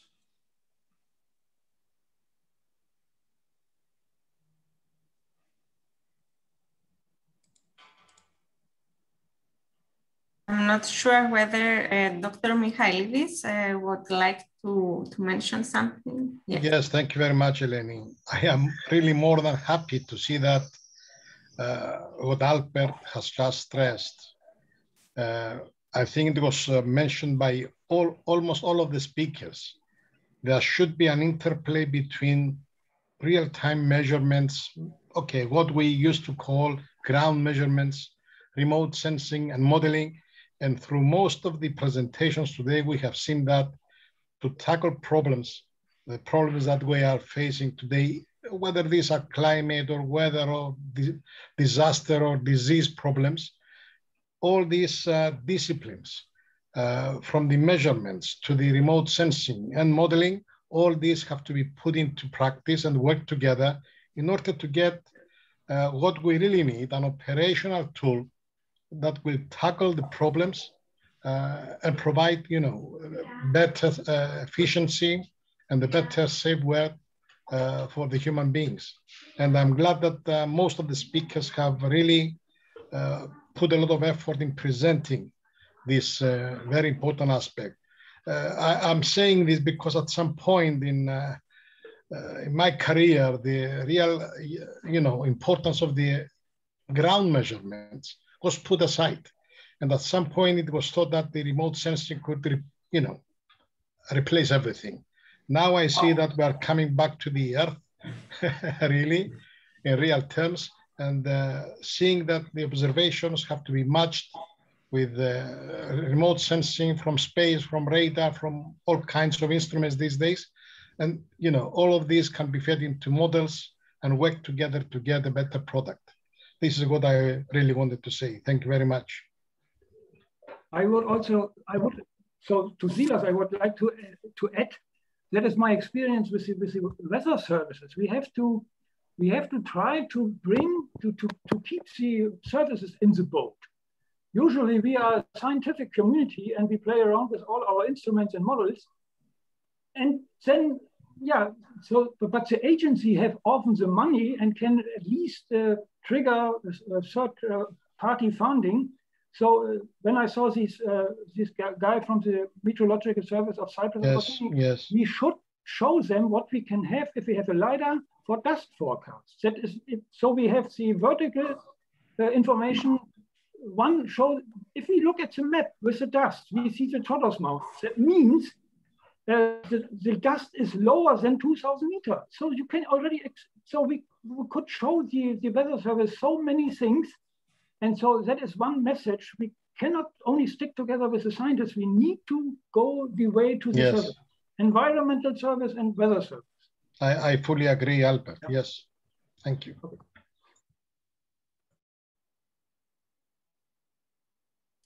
Thank you uh, to everyone also for this uh, discussion.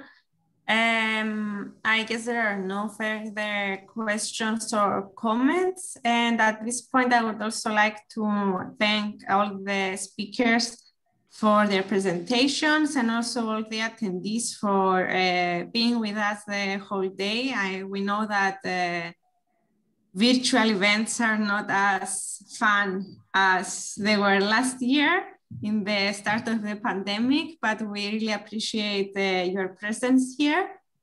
And um, at this point, uh, I would also like to take the chance to announce the upcoming event we plan for next uh, Tuesday. Uh, just give me a second to, to share the invitation. Um, okay, a slightly different topic. Next week, we will be uh, hosting a webinar on uh, water resources management, shorter this, uh, this time with four speakers. And uh, you will be informed also through our social media. And uh, if you subscribe to the um, to our emails, you will be informed also via email. And uh, I will also uh, share the registration link in the chat um, for your information. Um, okay, um, just sharing the, the link now.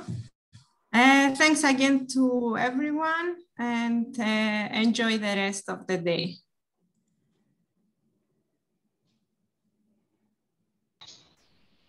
Thank you very much. Thank you, Eleni. Thank you, Thomaida. Thank you. Goodbye. Thank you. Bye. Bye. Thanks, Lord. Thank you. Thank you very much.